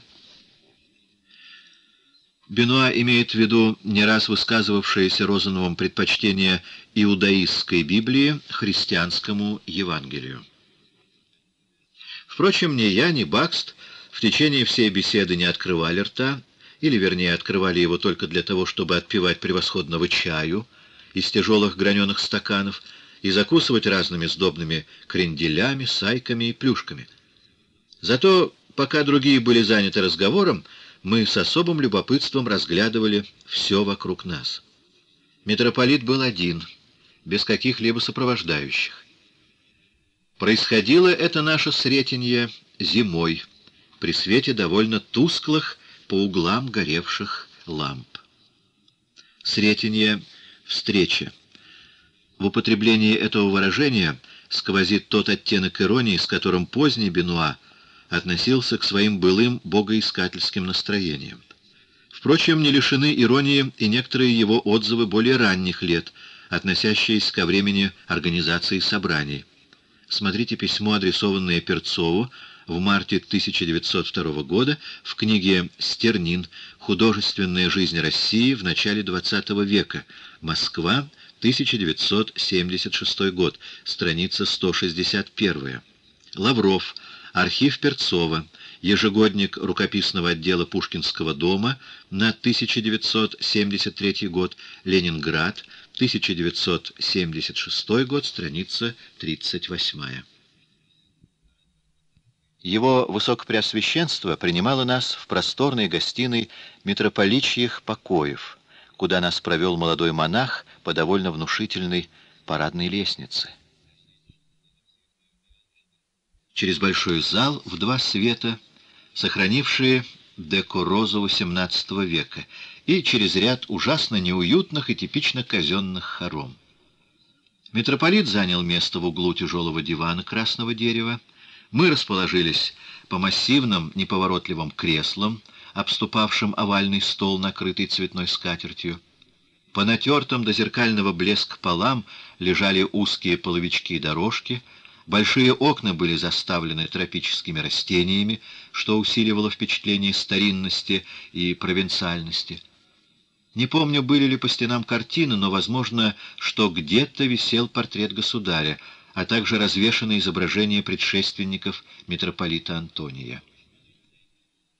Первые собрания нового общества, возникшего при благосклонном попустительстве властей, после полученного в установленном порядке утверждения, происходило в помещении Императорского географического общества, находившегося тогда в Доме Министерства народного просвещения на Театральной улице, на супротив Театрального училища.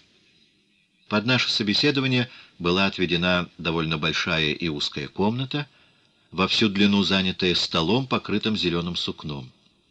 По стенам висели карты, а в углу на мольберте чернела большая квадратная доска, вроде тех, что ставятся в школьных классах. Комната за этим залом заседаний служила буфетом, где можно было получить во время перерыва чай и бутерброды, а в двух или трех комнатах, предшествующих залу заседаний, происходил обмен мнений в менее официальном тоне. Впрочем, и самые доклады не всегда носили строго формальный характер. Неизменно смиренную строгость при любовном внимании выражали два епископа, ставшие членами религиозно-философского общества. Зато среди других участников, и особенно среди случайных гостей, попадались и весьма придирчивые, иногда и вовсе бестактные забияки. Тут можно вспомнить еще раз и о выступлении Висеньки. Мишенью Коева были обыкновенно попы. Сначала, пожалуй, весь первый год, эти собрания на театральной улице, возбудившие сразу общественный интерес, были очень содержательны. И за этот период они получили для многих участников большое значение. Однако с течением времени они стали приобретать тот характер суесловных говорилин, на которые обречены всякие человеческие общения, хотя бы основанные самыми благими намерениями. Мне лично становилось все более и более ясным, что тут, как и во всем на свете, дело складывается не без участия князя мира сего, иначе говоря, не без вмешательства какой-то силы мрака, всегда норовящей ввести души людские в соблазн и отвлечь их от всего подлинно возвышающего. Каково же было мое изумление, когда я удостоверился в реальном присутствии бесовского начала. Дело в том, что из-за помянутой черной классной доски в углу зала выглядывали два острых торчка, похожих на рога. Меня это заинтересовало. Но доска находилась на другом конце зала, и почему-то я не сразу отправился взглянуть, что это такое. Все же я, наконец, через несколько недель пробрался и заглянул за доску. И тут меня обуял настоящий ужас. Передо мной стояло гигантского роста чудовище, похожее на тех чертей, которые меня преследовали в моих детских кошмарах и какие были изображены на лубочных картинках, представлявших страшный суд. У этой гадины были настоящие волосы на голове и на бороде, а все тело было покрыто густой черной шерстью. Из оскаленной пасти кровавого цвета торчали длинные загнутые клыки, пальцы рук и ног были вооружены колючими когтями, а на голове торчали длинные рога. Страшнее же всего были выпученные глазищи идола с их свирепым безжалостным выражением. Это был идол, вероятно, когда-то привезенный из глубокой Монголии или Тибета, какой-либо научной экспедицией географического общества. Может показаться странным, что я придал такое значение своему открытию, но в тот момент я действительно испугался, исполнился ужаса, не лишенного мистического оттенка. Чудовищное безобразие этого дьявола было передано прям-таки с гениальной силой, а нахождение идола в данном помещении в качестве какого-то притаившегося наблюдателя — показалось мне до жути уместным. Оно наглядно символизировало то самое, что мне начинало мерещиться. Выслушивая длинные, безнадежно топчущиеся на месте прения и присутствуя при схватках, в которых было меньше и меньше искания истины и все больше и больше самого суетного софистского тщеславия. Удивительно, что на моих друзей этот дьявол не произвел того же впечатления. И только Мережковский, тоже начинавший тогда переживать известное разочарование в том, что, согласно его замыслам, должно было открыть путь к перерождению русской религиозной жизни, только он, когда я его свел за доску, на минуты выразил крайнее изумление, а затем привычным жестом пригладив бороду, криво улыбнулся и чуть ли не радостно воскликнул «Ну, разумеется, это он! Надо было ожидать, нечего и удивляться!» Постепенно увлечение нашей основной группой религиозно-философскими собраниями стало ослабевать, и интерес к тому, что говорилось, именно говорилось в собраниях, падать. Но интерес к самим обсуждавшимся вопросам едва ли не становился при этом еще более жгучим. Было сделано и несколько попыток каким-то более домашним, более интимным образом войти в религиозное общение как между нами самими, так и с церковными людьми. Из последних на меня особенно сильное впечатление произвел архимандрит Антонин из Александра Невской лавры, которого как-то вечером привел к Мережковским тернавцев. Впечатление это было как внешнего, так и внутреннего порядка. Поражал громадный рост. Поражало прям-таки демоническое лицо, пронизывающие глаза и черная, как смоль, не очень густая борода. Но не менее меня поразило и то, что стал изрекать этот иерей с непонятной откровенностью и прям-таки цинизмом. Память не сохранила подробностей, но главной темой его беседы было общение полов и греховность этого общения. И вот Антонин не только не вдался в какой-либо превозношение аскетизма, а, напротив, вовсе не отрицал неизбежности такого общения и всяких форм его. Это вовсе не преподносилось с оттенком какого-либо тривиального юмора, строгий тон и оттенок чего-то даже научного не покидали этого нашего неожиданного осведомителя. Естественно, вся личность Антонина в высшей степени заинтересовала тогда наш кружок — Однако мне кажется, что его посещение так и осталось единственным. Из попыток найти собственные, независимые от церкви, пути к духовному обновлению, мне особенно запомнилась одна. Это происходило опять-таки у Мережковских. Дмитрий Сергеевич предложил вместе читать Евангелие и, получив общее согласие, тут же, не откладывая, стал нам читать случайно открывшееся место. Однако, хоть читал он с проникновенным чувством и даже не без умиления, хоть читаемое производило впечатление неоспоримой подлинности, за которой мы и обратились к священной книге, подобающего настроения не получилось и потому показалось совершенно уместным и своевременным, когда Зиночка самым обывательским тоном, нарочно подчеркивая эту обывательщину, воскликнула «Лучше пойдемте пить чай». Замечательно, что и Дмитрий Сергеевич сразу согласился и выбыл из настроения навинченного, надуманного. Лишь философов остался и после того в убеждении, что следовало продолжать, что на этом пути мы бы, наконец, все же обрели нечто истинное. Философов был вообще тогда убежден, что и под историческим христианством лежит насильственное воздействие над собой, известное самовнушение группы лиц, что все дело в создании известной традиционности, хотя бы источник традиции и не обладал полнотой подлинности и убедительности. Вокруг как раз этого его убеждения у нас велись самые горячие споры. Припомню и еще один аналогичный случай. То было тоже нечто вроде форсирования благодати. Но эта попытка имела уже определенно кощунственный уклон и грозила привести к какому-либо безобразию, если не к постыдному юродству и к крикушеству. Собрались мы тогда у милейшего Петра Петровича Перцова в его отдельной комнате. Снова в тот вечер философов стал настаивать на необходимости произведения реальных опытов и остановился на символическом значении того момента, когда Спаситель, приступая к последней вечере, пожелал омыть ноги своим ученикам. Супруги Мережковские стали ему вторить, превознося этот подвиг унижения и услужения Христа, и тут же предложили приступить к подобному же омовению. Очень знаменательным показался мне тогда тот энтузиазм, с которым за это предложение уцепился Розанов. Глаза его заискрились, и он поспешно залопотал. «Да, непременно, непременно это надо сделать, и надо сделать сейчас же».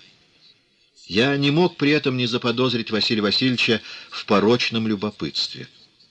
Ведь то, что среди нас была женщина, и в те времена все еще очень привлекательная, очень соблазнительная Ева, должно было толкать Розанова на подобное рвение. Именно ее босые ноги, ее белые ножки ему захотелось увидать, а может быть и омыть. А что из этого получилось бы далее — никто не мог предвидеть. Призрак какого-то свального греха, во всяком случае, промелькнул над нами, но спас положение более трезвый элемент. Я до перцов. Может быть, и Нувель, если только он тогда был среди нас. Розанов и после того долго не мог успокоиться. И все корил нас за наш скептицизм, за то, что мы своими сомнениями отогнали тогда какое-то наитие свыше. В заключение приведу еще один случай, аналогичный с моим открытием дьявола в помещении географического общества. Этот случай характерен для наших тогдашних настроений, но, может быть, и кроме того, здесь можно увидать не простую игру случая, а нечто, над чем следовало бы призадуматься. Сидели мы в тот вечер в просторном, но довольно пустынном кабинете Дмитрия Сергеевича, я и Розанов на оттаманке, Дмитрий Сергеевич и Зинаида Николаевна поодали от нас, на креслах, а Александр Блок, тогда еще студент, как раз незадолго до того появившийся на нашем горизонте, на полу, у самого топящегося камина. Беседа и на сей раз шла на религиозные темы. И дошли мы здесь до самой важной, а именно до веры и до движущей горами силы ее. Очень вдохновенно говорил сам Дмитрий Сергеевич, тогда как Василий Васильевич только кивал головой и поддакивал. Вообще же настроение у всех было благое, спокойное и ни в малейшей степени не истерическое. И вот когда Мережковский вознесся до высшей патетичности и, вскочив, стал уверять, что и сейчас возможны величайшие чудеса, стоило бы, например, повелеть с настоящей верой среди темной ночи, да будет свет, и свет и явился бы. Однако в самый этот миг и не успел Дмитрий Сергеевич договорить фразу — как во всей квартире погасло электричество и наступил мрак.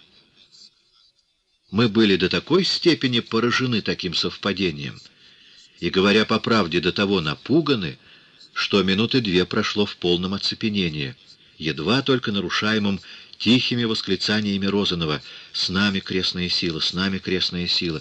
Причем при отблеске очага я видел, как Василий Васильевич быстро-быстро крестится. Когда же свет снова сам собой зажегся, то Дмитрий Сергеевич произнес только «это знамение». Розанов заторопился уходить, а Зинаида Николаевна, верная себе, попробовала все повернуть в шутку и даже высмеяла нас за испуг. Скажу еще несколько слов о Розанове, который в те годы занимал в нашем кружке обособленное и очень значительное место. Он притягивал к себе многообразием и глубиной своих прозрений, а также своим непрерывным любопытством, обращенным на всевозможные предметы. Только к чистому искусству, к истории искусства, и в частности к живописи, и, пожалуй, еще к музыке, он обнаруживал равнодушие и до странности малую осведомленность. Превосходным памятником этого нашего общего увлечения Розановым, он был на много лет старше старшего среди нас, остается портрет, рисованный пастелью Бакстом, ныне находящийся в Третьяковской галерее в Москве. Увлечение же это имело в данном случае еще то специальное основание, что Левушка, будучи убежденным евреем, особенно ценил в Розанове его культ еврейства. Бакст был человеком далеко не безгрешным, а в некоторых смыслах даже порочным, но он все же носил в себе реальное ощущение Бога. Что же касается до еврейства, то отношение Бакста к своему народу было таковым, что его вполне можно было назвать еврейским патриотом. Забегая вперед, укажу, что только человек с такими душевными переживаниями, совершив ужасный в собственных глазах поступок, отречение от веры своих отцов, мог затем до такой степени трагично переживать свое отступничество и даже впасть в состояние, близкое к помешательству. Всего милее Василий Васильевич был у себя дома. Он был большим домоседом и вечера любил проводить у себя за чайным столом, который накрывался у них в гостиной, ничем изящным не отличавшийся, да и вся его квартира была самая обыденная и меблированная только самым необходимым. К этому почти ежевечернему чаю собирались постоянные и случайные разовые гости, и все усаживались рядышком по обеим сторонам хозяина, занимавшего среднее место в конце стола, на супротив самовара. К чаю подавались какие-то незатейливые печенья, калачи, сухари и тому подобное. Разливала чай жена Василия Васильевича, разносила же стаканы его падчерица, девица рослая, хорошо сложенная, но, несмотря на правильные черты лица, нисколько не привлекательная. Мы ее про себя прозвали «барашком». И действительно, нечто овечье, что было в ее выражении, подчеркивалось курчавыми светлыми волосами, частью заплетенными в косу, положенную кольцом вокруг головы. Обеих этих женщин Розанов ценил безмерно. И это свое отношение к ним постоянно выражал вслух, гордясь ими и цитируя их слова и мнения, хотя бы и самые обыденные. Злые языки утверждали, что он неравнодушен к падчерице, но, во всяком случае, он был по уши влюблен в жену, женщину не молодую, не красивую и вообще на посторонний глаз лишенную всего того, что в наше время получило кличку «секс-ареал». Для него же она представляла какую-то квинтэссенцию женственности и женской прелести. Мало того, движимый своим супружеским энтузиазмом, Розанов не боялся разных нескромных определений и описаний, основанных на его супружеском опыте и служивших подтверждением его эротических теорий, причем сплетал свою изощренно тонкую наблюдательность с почти ребяческой наивностью. Редкие собеседования с ним обходились без сообщений каких-либо подобных новых открытий и наблюдений психологического и физиологического порядка, причем, однако, это делалось без тени легкомысленной или пошловатой скобрезности, вроде той, что царит в нецеломудренных анекдотах или в остротах, имеющих ход в мужской компании. Манера его касаться этих довольно-таки скользких тем — исключала всякую их неприличность и в то же время оставалась вдали от какого-либо научного подхода, чисто материалистического базаровского оттенка.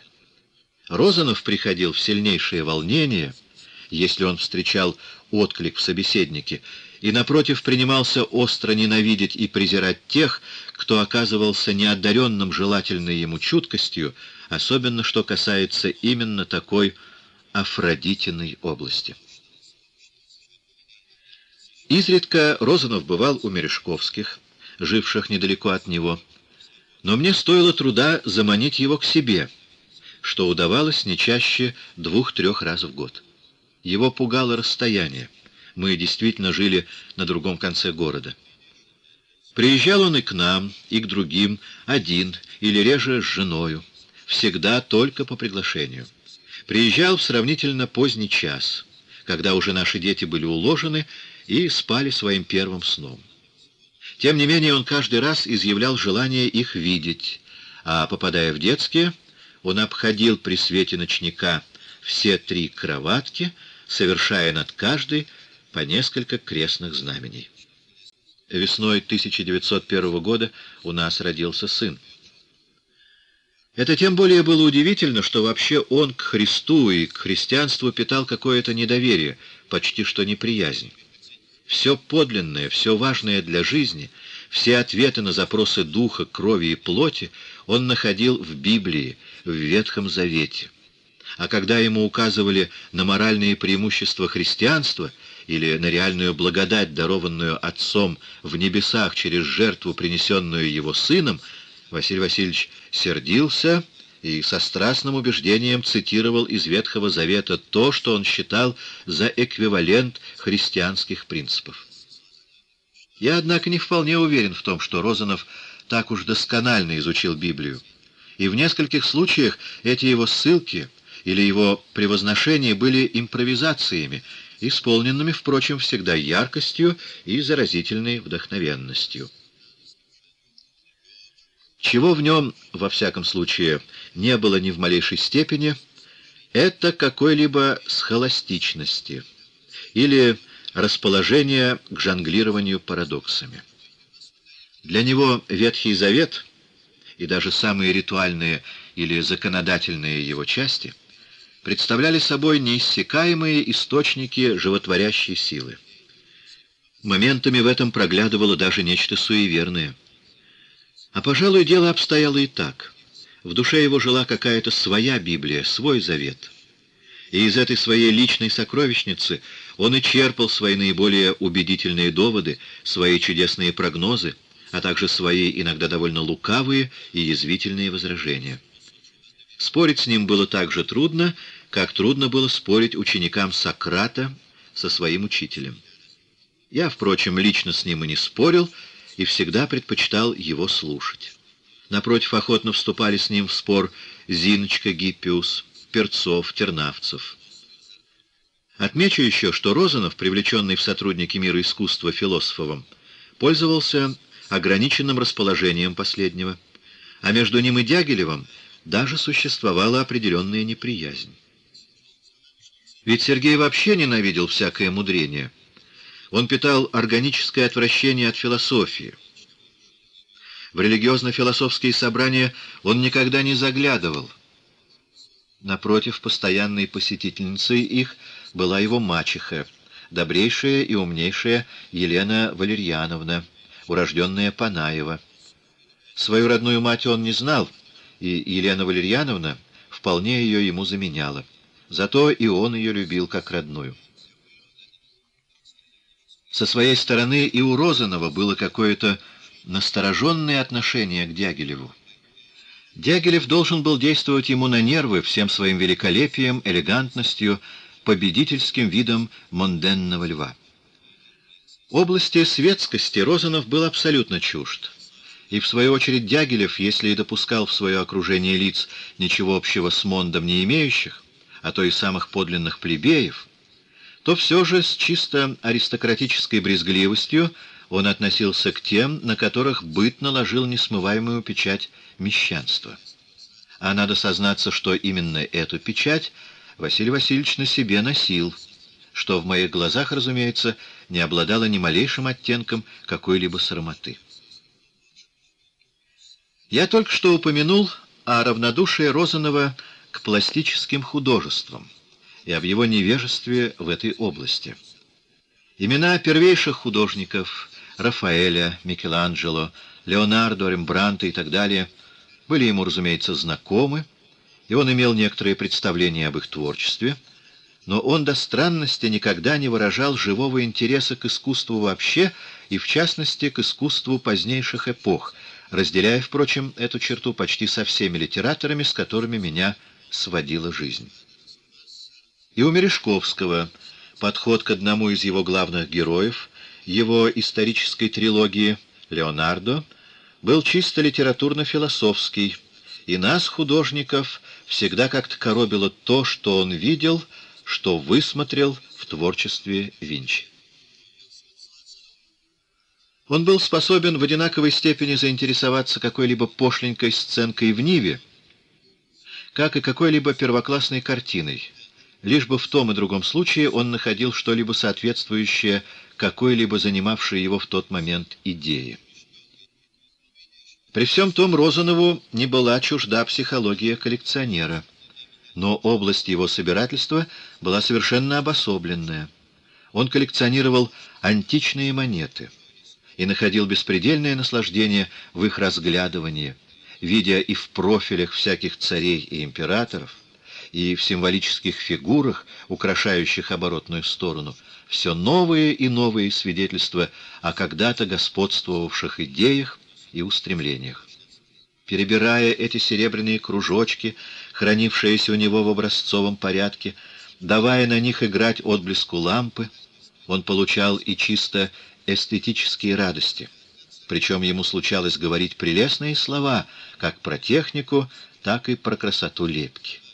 Но это была, повторяю, единственная область искусства, доступная Розанову. Даже в особенно милом его сердцу Египте он оставался скорее безразличным в отношении могучей архитектуры древних египтян и до красоты всей их формальной системы, выражавшейся в барельефах и в стенописи. Напротив, любопытство Розанова было в высшей степени возбуждено всем, что он вычитывал таинственного в барельефах и в иероглифах, свидетельствующих о верованиях египтян, обнаруживая при этом свой дар проникания в самые сокровенные их тайны. Тот род дружбы, который завязался между мной и Василием Васильевичем около 1900 года, не продолжался долго и не возобновился после того, что я с 1905 по 1907 год два с чем-то года провел вне Петербурга. Но все же я сохранил о нем память не лишенную нежности и глубокого почитания. Да и он как будто не забыл меня, хотя с момента войны мы более никогда не встречались. Свидетельство об этом я нашел, к своей большой радости, в одной из его удивительных статей, которые каким-то необъяснимым чудом стали появляться в виде небольших тетрадей в начале 1920-х годов. Очевидно, в сознании Бенуа объединились два сочинения Розанова, действительно выходившие небольшими тетрадками в течение 1917-18 годов. Главы «Апокалипсиса нашего времени», которых нет упоминаний о Бенуа, и изданные в 1922 году письма Розанова Голлербаху, где к одному из осенних писем 1918 года Розанов сделал приписку «Бенуа, привет и любовь, умный, только молчалив, и, я думаю, эгоист». Смотрите письма Розанова Голлербаху, Берлин, 1922 год, страница 79. Живя в тяжелых условиях в посаде Троицко-Сергиевой лавры, Розанов находил в себе силы интересоваться самыми разнообразными вопросами и с удивительным просветлением обсуждать их, что хоть и делалось в тайне, однако было и представляло значительную опасность. Глава 36. Театральные дела. Князь Волконский. Раут в дирекции. Ежегодник театров. Итак, весной 1899 года почтенный Иван Александрович Всеволожский принужден был по воле государя покинуть директорский пост императорских театров и уступить эту должность молодому князю Волконскому.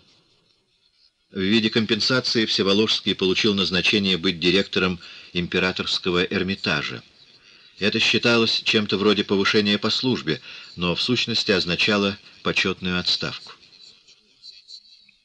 За 20 лет своего управления Всеволожский заслужил горячие симпатии петербургской публики. Лично же я питал заглазно, я еще не был тогда знаком с ним, Глубокую благодарность как за приглашение превосходных артистов, на первых местах стояли божественная Вирджиния Цукки и несравненная Люсьен Гитри, так и за роскошные постановки, в частности, за постановку музыкальных произведений, благодаря которым я познал и полюбил, превыше всего, русских композиторов. Я имею в виду «Спящую красавицу», «Щелкунчика» и «Пиковую даму» Чайковского, князя Игоря Бородина и Раймонду Глазунова.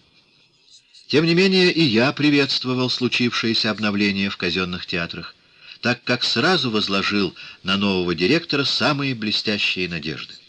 Мне казалось, что назначение Волконского открывало лично мне путь к театральному творчеству, так как я был знаком с князем, как и он высказывал всегда в отношении меня самое любезное внимание. Я не мог сомневаться, что, зная мою страстную любовь к театру и имея представление о моем художественном даровании, Волконский обратится ко мне. Если трудно было рассчитывать на то, что меня сразу притянут к творческой работе, то все же в ожидании этого я мог быть полезным своим опытом и своими советами. Что вообще Волконский не обойдется без нас, сразу доказывало то, что он уже приблизил к себе двух моих ближайших друзей. А Дягилеву он прямо сказал, чтоб я при первой же возможности его посетил. «Скажите, скажите ему», — сообщили мне приехавшие к нам на Черную речку Дима и Сережа, передавая слова князя, «что я очень рассчитываю на него. Пусть придет ко мне, как только приедет в город». Приглашение Волконского я и последовал в начале июля в одно из ближайших посещений Петербурга. Застал я его едва ли не еще более возбужденным, нежели были Дягилев и Философов. Он еще не успел поселиться в великолепной казенной квартире в доме позади Александринского театра, только что очищенный его дядей Всеволожским, но ремонт в ней шел полным ходом, и принц Серж строил планы, как он в ней устроится а главное, как он сможет этим хоромам придать наибольшую эффектность. Особый расчет у него был на императорские портреты Елизаветы Петровны, Екатерины II и Марии Федоровны, супруги Павла, которые до тех пор украшали анфиладу комнат, составлявшую продолжение главного фойе Александринского театра. Эти громадные полотна уже были перенесены в директорские апартаменты, но еще не висели, а стояли прислоненные к стене той залы, которая предназначалась служить приемной и через которую надлежало проходить, чтобы попасть в кабинет директора. Мысль Сергея Михайловича выдавало стремление к величию, а это всегда вызывало мое сочувствие. Одобрил я и те колеры, в которые Волконский собирался окрасить свои парадные апартаменты, и тот штоф, который он выбрал для обивки раззолоченной, чисто дворцовой мебели, принадлежащей директорской квартире. После революции в этих залах был устроен театральный музей. В следующее мое посещение я застал Волконского уже живущим в новом своем помещении. Императрицы величаво поглядывали со стен, окрашенных в характерные для начала XIX века цвета желтый, розоватый, серо-голубой, а на стульях, креслах и диванах ярко рдел штоф с классическими мотивами. Завтрак, которым меня угостил князь, показался мне, пожалуй, чересчур умеренным, что касается яств и питий. Зато он был чрезвычайно оживленным в смысле беседы. Сергей Михайлович славился некоторой своей скупостью. Никого из посторонних не было, и Волконский дал волю всевозможным своим проектам перескакивая с одного сюжета на другой, неистово при этом моргая, подергивая своим заостренным усом и жестикулируя с чисто театральной пластичностью. Он не давал мне вставить слово, хоть и закидывал меня вопросами. На каждом шагу он при этом взывал, обращаясь скорее к себе, нежели ко мне, к осторожности, к такту. Необходим главным образом такт. Нужно, чтобы мы действовали с тактом. Театральный мир, где полон интриг и всяких козней. Не дай бог в самом начале сделать промах. С другой стороны, я уже от моих друзей слышал критику их нового начальника. Они жаловались, что Волконский слишком осторожен, и что он то и дело подрезает им крылья. Становилось очевидным, что мне придется играть между ними тремя роль, сколь неблагодарную и скучную, соглашателя и примирителя. Что же касается до творческой работы, то особенные расчеты у князя сразу обнаружились в отношении Бакста и Сомова. Однако, что касается надежды сломить упрямство нашего Костеньки и заставить его забыть данный зарок, для театра не работать, таких надежд было мало. Напротив, Бакст только и мечтал проявить себя в театре. Беседа наша затянулась часа на два, когда мы уже сидели за кофеем в огромном директорском кабинете. Тут Сергей Михайлович развернул передо мной планы не столь узкотеатрального характера, сколь, я бы сказал, общекультурного. Жалуясь на некоторую дикость и грубость русских артистов, он рассчитывал их перевоспитать посредством сближения мира артистического с миром, к которому он сам принадлежал. Осуществить эту идею он поспешил в ту же осень 1899 года, устроив в своих покоях раут — на который были приглашены вперемешку как деятели сцены, оперы, драмы, балета, так и представители и представительницы нашего петербургского большого света. Были позваны и несколько литераторов и художников. Внешним образом Раут вышел блестящий. Величественный швейцар в красной придворной шинели с гербами и несколько лакеев помогали при входе на парадную лестницу снимать пальто и шубы, в дверях директорской квартиры Капельдинер, тоже в своей красной придворной ливреи, выкрикивал фамилии, а князь, стоя посреди первой залы, встречал каждого входящего с обворожительной лаской подлинного, при том же скорее итальянского, гран-сеньора, говоря дамам и знаменитостям разные комплименты. В столовой же, под канделябрами, выселись пирамиды всяких угощений а-ля фуршет и потоками лилось шампанское. Видно, на сей раз и для такого случая принц Серж решил отказаться от своих благоразумных навыков. Была исполнена и какая-то программа, состоявшая из музыкальных и литературных номеров. Вообще все было сделано по лучшим традициям аристократического меценатства.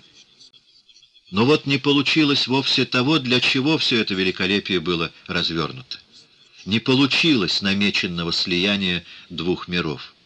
Артисты жались своим кружком, великосветские дамы, несмотря на благосклонную ласковость, которую им предписал милый князь, оставались в безнадежной недоступности, литераторы и художники наблюдали, примечали курьезы и смешные стороны, но тоже оставались в стороне, никак не блистая и не затевая общих бесед. Что же касается до программы, то она только мешала всем. Никого не могло интересовать то, что давным-давно всем было известно. К тому же сразу наметились какие-то обиды, почему пригласили петь ее, а не меня и так далее. К полночи лед не только не растаял, но еще более окреп. Сам хозяин завял. Переходя от группы к группе, он все нервнее крутил свой кверх завернутый ус и все чаще мигал своими прекрасными глазами, но это не помогало преодолеть общее безнадежное уныние.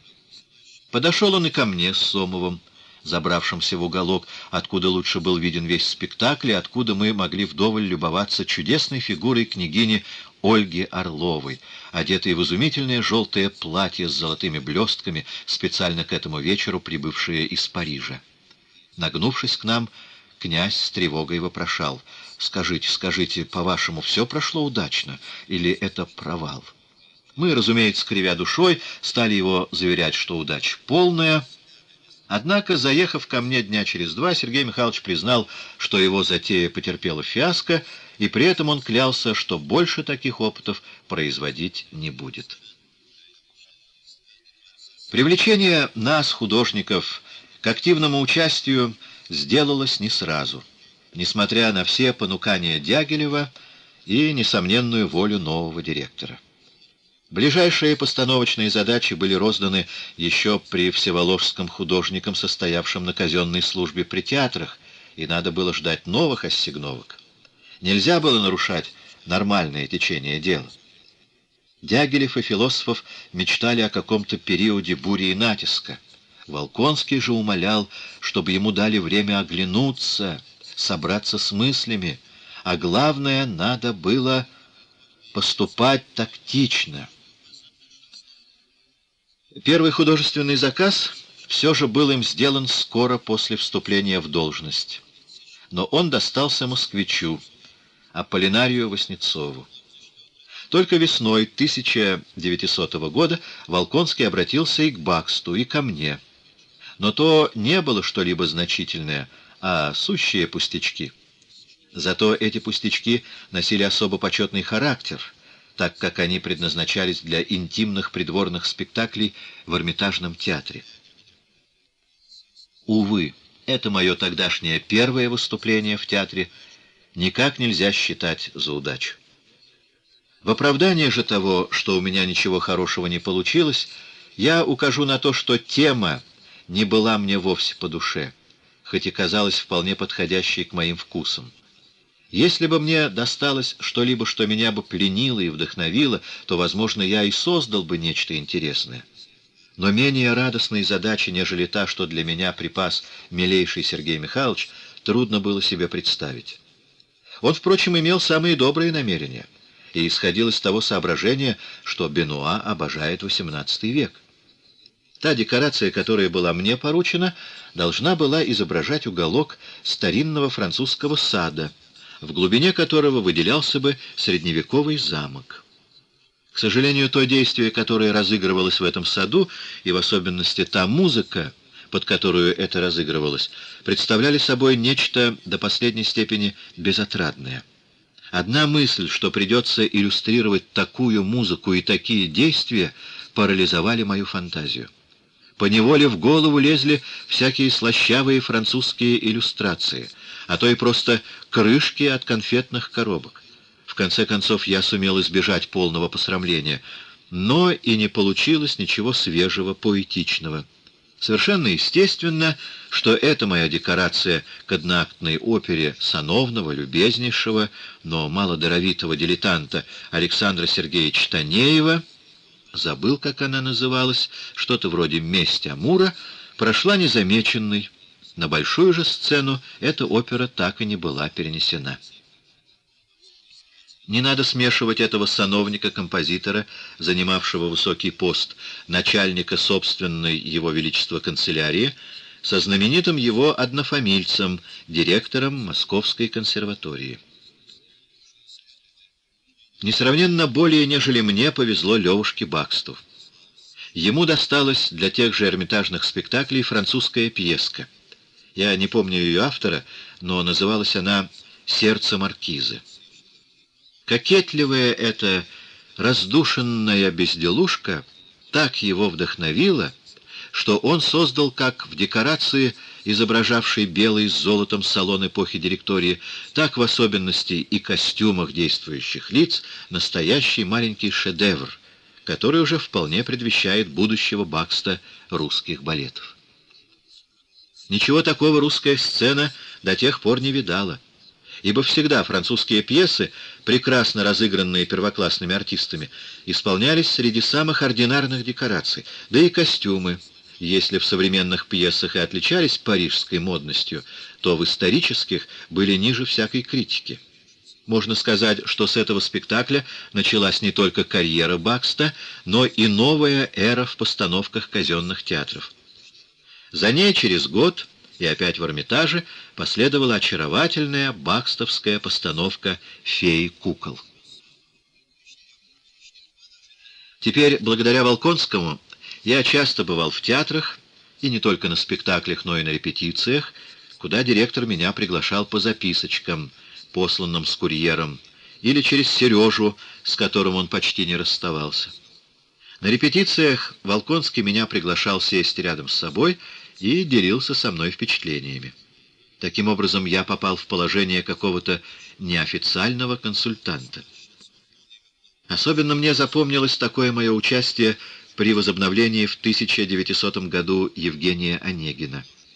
Декорации были заказаны еще при Всеволожском, казенным декоратором, но еще не были написаны. Представленные же на одобрение эскизы очень не понравились Волконскому. Действительно, они были банальны, и все недочеты, присущие первоначальной постановке, были в них повторены. Между тем, так хотелось увидать на сцене нечто более убедительное. Волконский попробовал сам что-то внушить своим штатным художникам, но чувствовал, что его слова не доходят, что его просто не понимают. Уже три раза художники Ламбин и Янов меняли эскизы по его указаниям, а получалось все то же самое. И вот я, случившись тогда в кабинете Волконского и понукаемый директором, попробовал описать художникам, как я все это вижу. Для первой картины мне вспомнилась какая-то усадьба или большая дача, особую поэтичность которой придавала подступившая к самому дому березовая роща. Комната Татьяны почудилась мне где-то под крышей, в мезонине, с типичным полукруглым окном, выходящим на балкон. Причем обстановка комнаты должна была быть самой скромной и являть какой-то специфический девичий характер.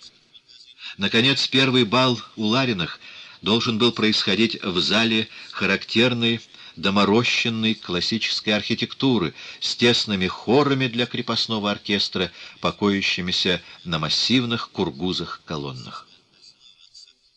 Этот разговор с художниками происходил в присутствии и тех двух чиновников, которые постоянно находились близ персоны директора, барона Кусова и господина Петрова. Мне было не совсем ловко, что я, посторонний человек, как-то учу людей, которые старше меня, и были облечены в вицмундиры, и могли себя считать специалистами в данной области — со своей стороны я был необычайно возбужден представившейся оказией поделиться своими взглядами, и это помогло мне побороть неловкость и дать волю своей фантазии. Художники и Волконской с жадностью прислушивались к моим словам, а чиновники, те даже что-то записывали, как бы составляя некий протокол нашего собеседования. И что же, результаты получились довольно утешительные. Правда, нельзя было привить Ламбину то, чем природа обидела этого отличного техника, а именно не хватавшее ему чувства красок. Правда, и в комнате Татьяны, и в декорации Ларинского бала многое пришлось еще исправлять по мере созревания этих декораций. Но все же то, что в конце концов предстало на генеральной репетиции, заметно приблизилось к моему идеалу. Не обошлось в течение всех проверок и без курьезов. Особенно запомнился один, происшедший тогда, когда уже написанная декорация комнаты Татьяны была нам показана на одной из репетиций, и я все еще не находил в ней желательного настроения. Тут барон Кусов полез в свой битком набитый портфель и вытащил нечто действительно похожее на протокол, и к этому оказался пришпиленным тот планчик всего дома Лариных, который я наспех набросал исключительно для того, чтобы пояснить какие-то мои мысли. Набрасывая его, я никак не ожидал, что снова увижу этот листок, но барон Кусов подобрал его и пришил его к делу, предварительно приложив и административную печать. Лично Сергею посчастливилось вскоре особенно угодить и директору, и даже государю, изданием ежегодника императорских театров, который за 1899-1900 год был целиком поручен именно ему. Дягилев же в составлении этой отчетной книги впряг всю нашу компанию.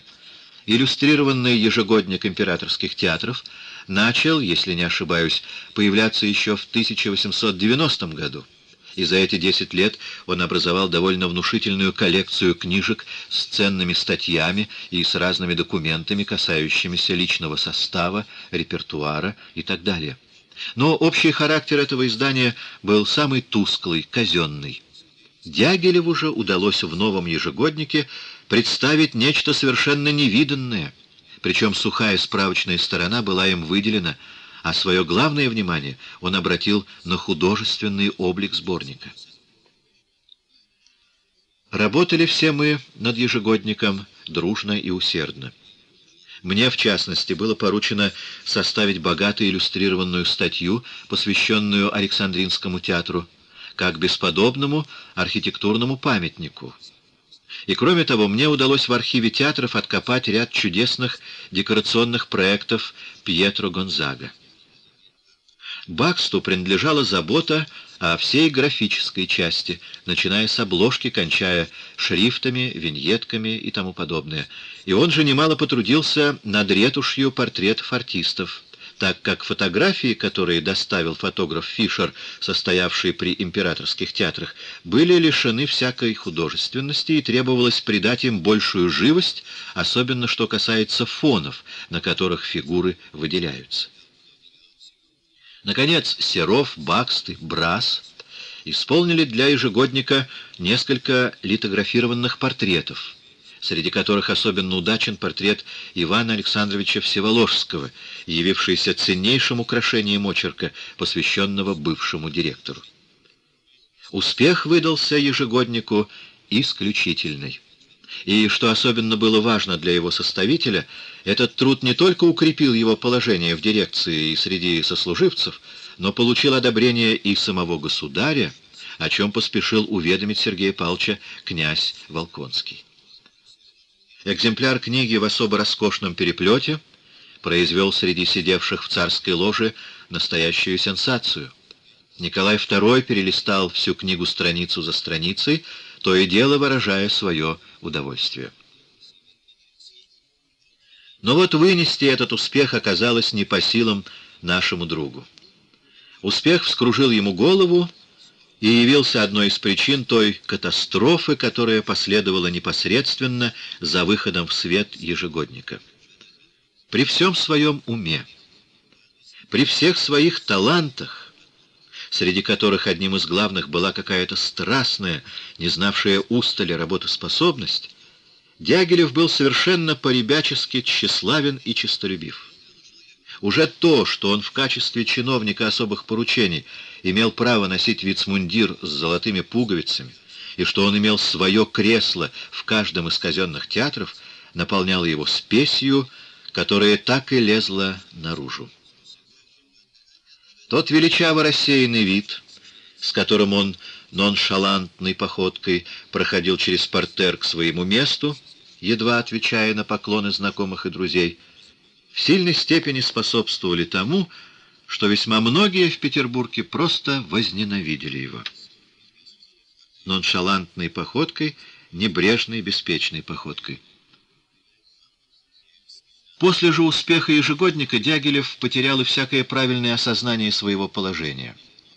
Ему стало казаться, что он уже у цели, что он единственный, что без него вообще обойтись нельзя, и что он может рассчитывать в самом ближайшем будущем на то, чтобы играть первейшую роль не только в тесном художественном мире, но и в государственном масштабе, льстило ему чрезвычайно и то, что с ним близко сошелся и почти подружился великий князь Сергей Михайлович, и ему благоволила наша первая балерина Кшесинская.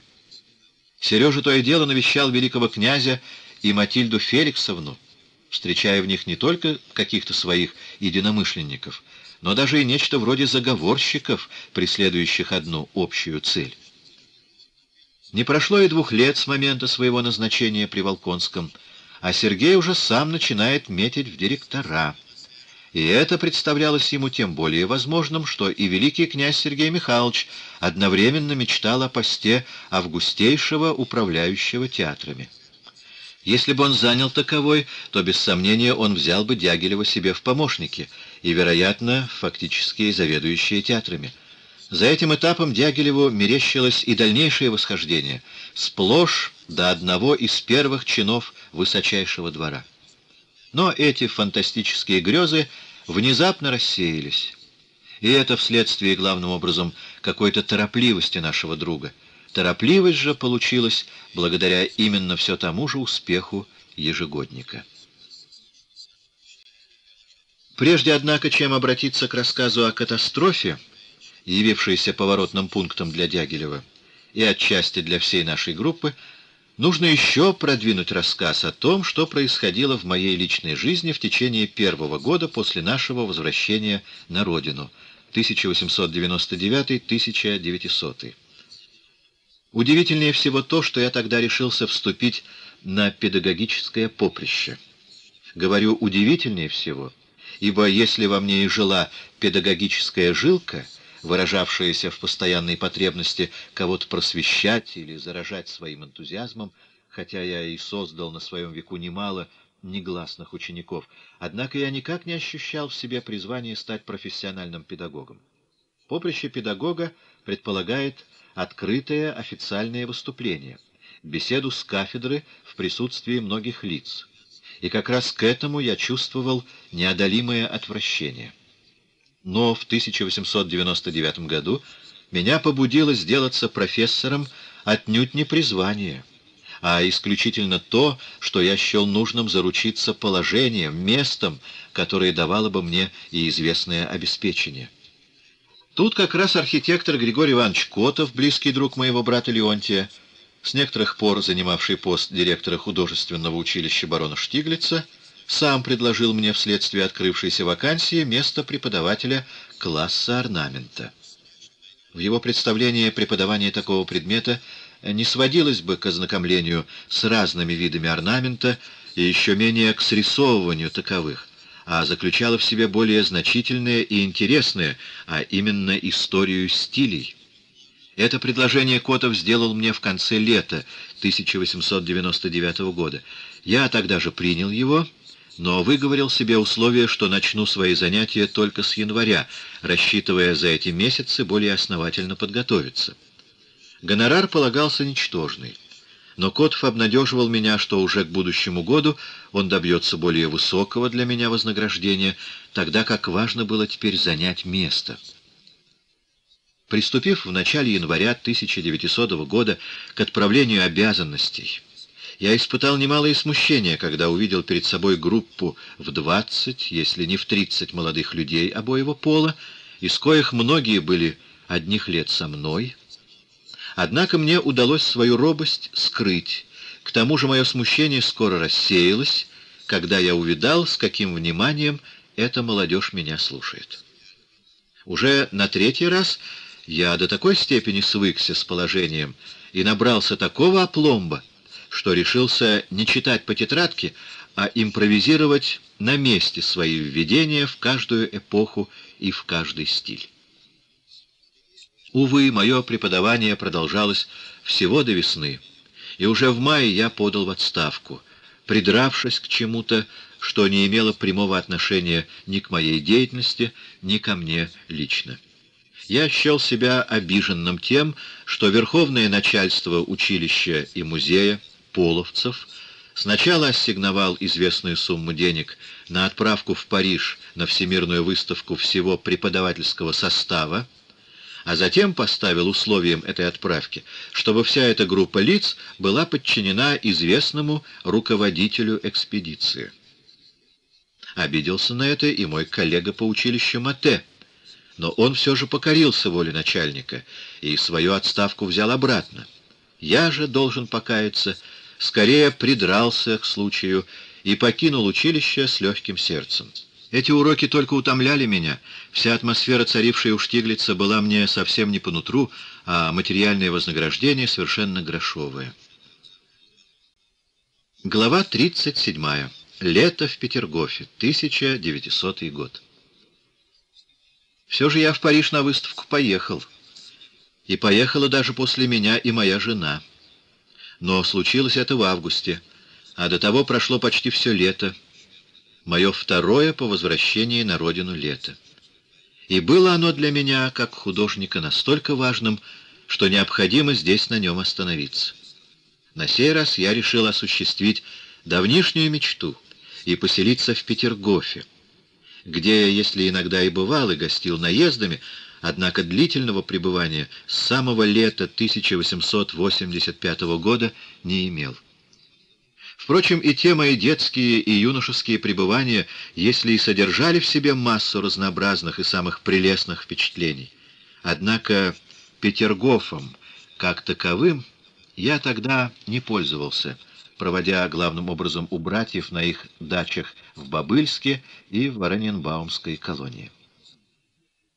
Наметив себе Петергоф как дачную резиденцию, я уже вперед составил целую программу работ — Пребывание в этом месте, в самом для моего сердца милом, должно было меня воодушевить на то, чтобы создать не только отдельные этюды, но и целый ансамбль внешних и внутренних видов дворцов и парков Петергофа, насыщенных для меня сентиментальными воспоминаниями и историческими видениями.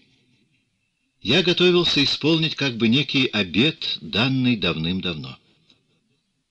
Именно в окрестностях столицы, и особенно в Петергофе, творческие усилия монархии выразились в грандиозных художественных формах. Выражение величия и мощи России соединилось здесь с теми чарами, которые присущи нашей северной природе. Это соединение художественной фантазии с природной прелестью произошло здесь в тот момент, когда европейское искусство переживало чудеснейший расцвет и целый ряд отличных западных художников оказались к услугам российского государства. Приглашенные Петром, Анной, Елизаветой, Екатериной II и Павлом, зодчие, декораторы, садоводы, скульпторы, резчики, бронзовщики и так далее, побуждаемые широкими замыслами царственных и вельможных меценатов, создали именно на русской земле свои шедевры. Леблон, Шлютер, Ринальди, Кваренги, Камерон, Гонзага и превосходящие их всех размахом и романтикой своих замыслов Растрелли.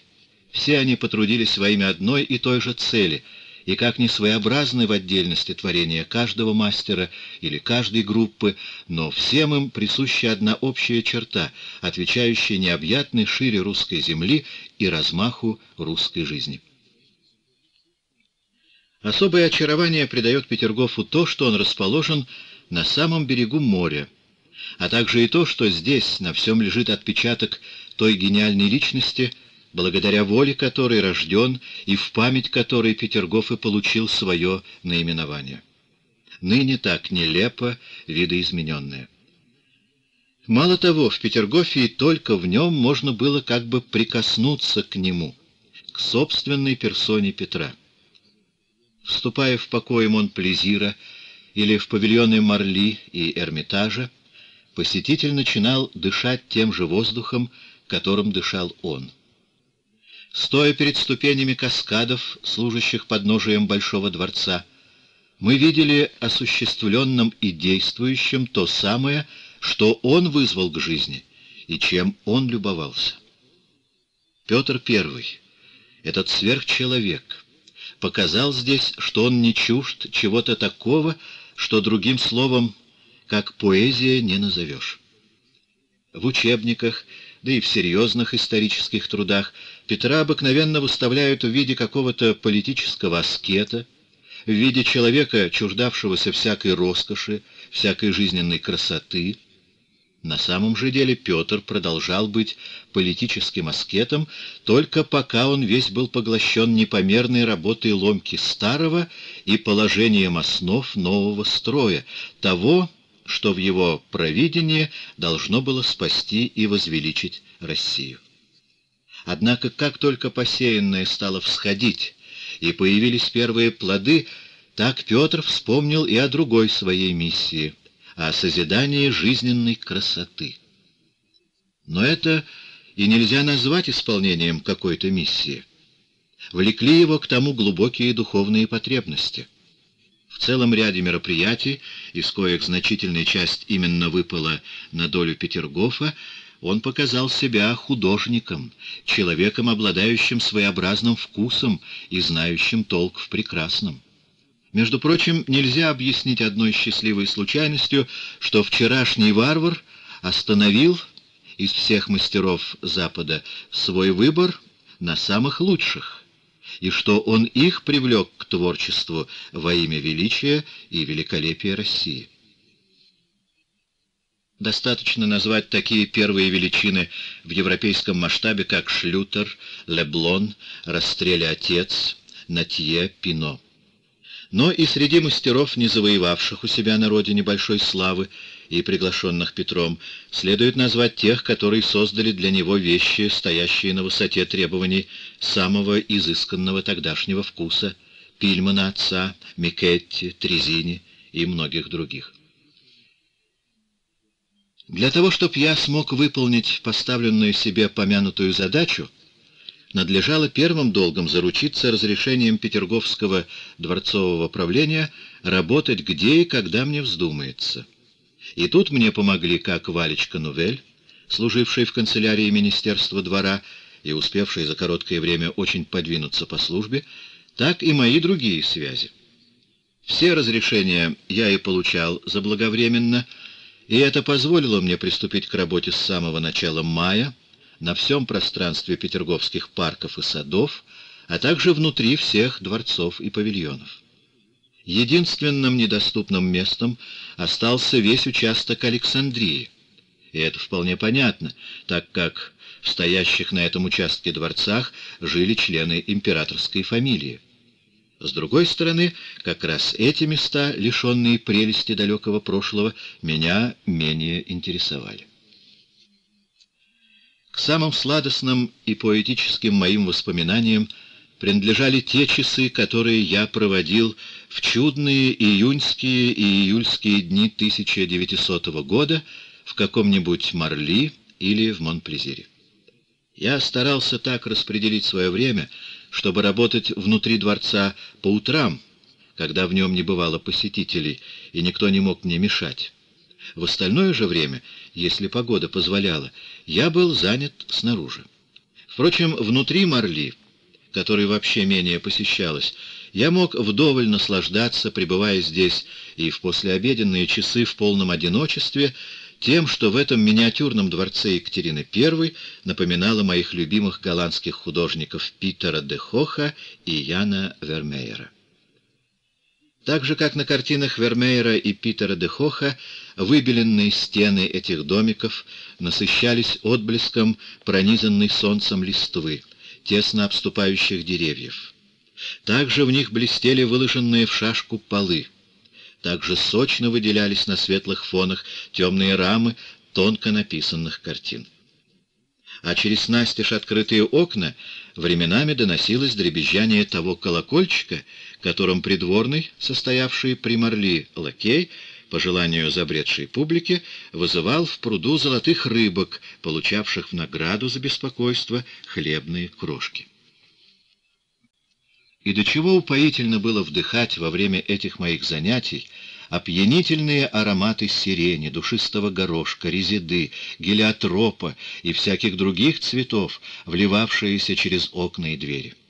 Как чудесно сливались они с тем совершенно особым, специфическим запахом старины, что шел от видевших Петра стен, от картин, от мебели. Совершенно странно пахло чем-то пряным, заморским в японском кабинете Монплезира, кипарисовые доски которого, несмотря на свое двухсотлетнее существование, все еще издавали необычайно сильный и острый аромат, замечательно вязавшийся со всем убранством этой маленькой, роскошно-узорчатой комнатки. Как досадовал я на то, что как раз теснота этого кабинета не позволяла мне найти тот нужный отход, который дал бы мне возможность представить весь этот ансамбль.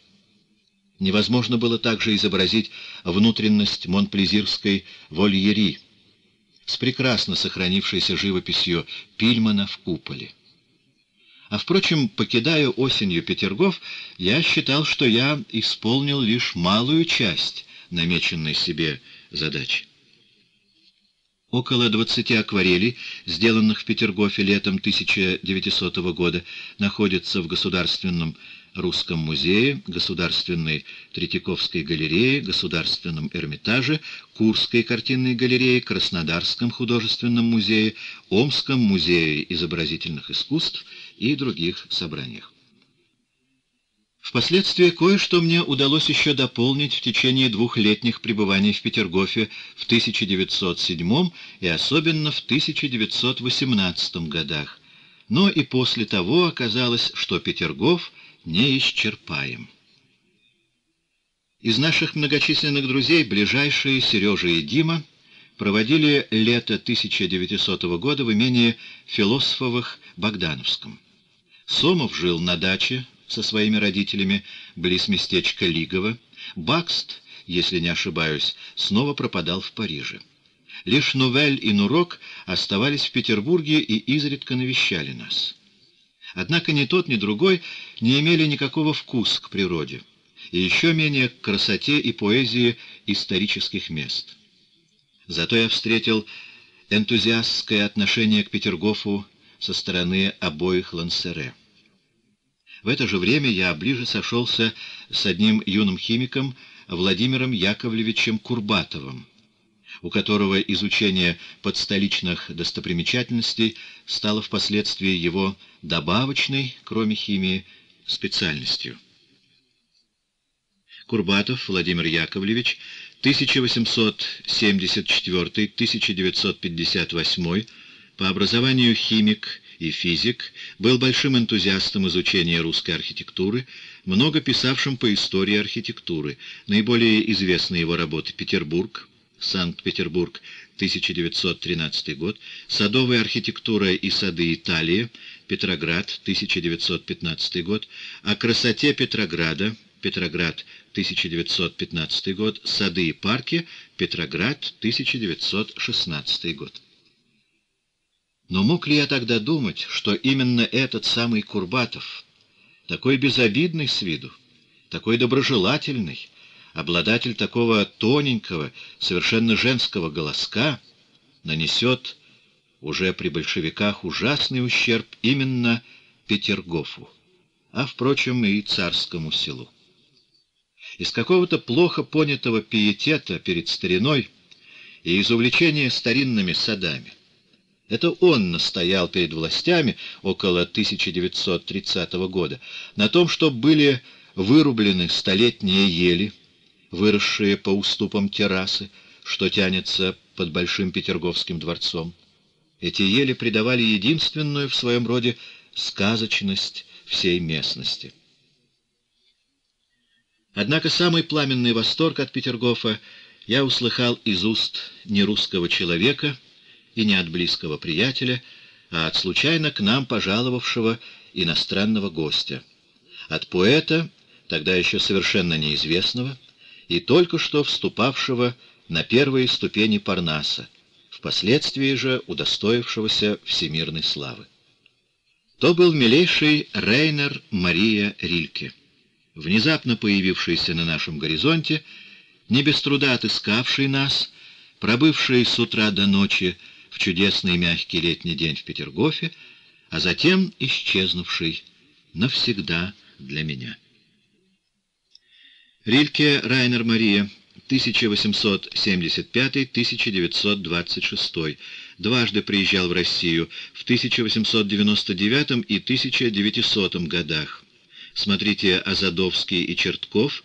«Русские встречи Рильке» в книге «Рильке», Ворпсведе, Огюст Роден, письма, статьи, Москва, 1971 год. Восторженно относясь к России и русскому искусству, Рильке старался способствовать сближению русских и немецких художников, задумывая то выставку русских живописцев в Берлине, то перевод на немецкий язык книги Бенуа о русской живописи XIX века. Переписка Бенуа и Рильке издана Азадовским. Рильке и Бенуа. Переписка. 1900-1902 годы. В книге «Памятники культуры. Новые открытия». 1976 год. Москва. 1977 год. Впрочем, некоторое время я продолжал и после его отъезда оставаться в переписке с Рильке. Он присылал мне каждый новый сборник своих стихов и своих рассказов, всегда с весьма трогательным посвящением — Та же прогулка, в течение которой мы пешком исходили вдоль и поперек, все петерговские сады, принадлежит к самым приятным моим воспоминаниям. Хочется думать, что и для него они не прошли бесследно.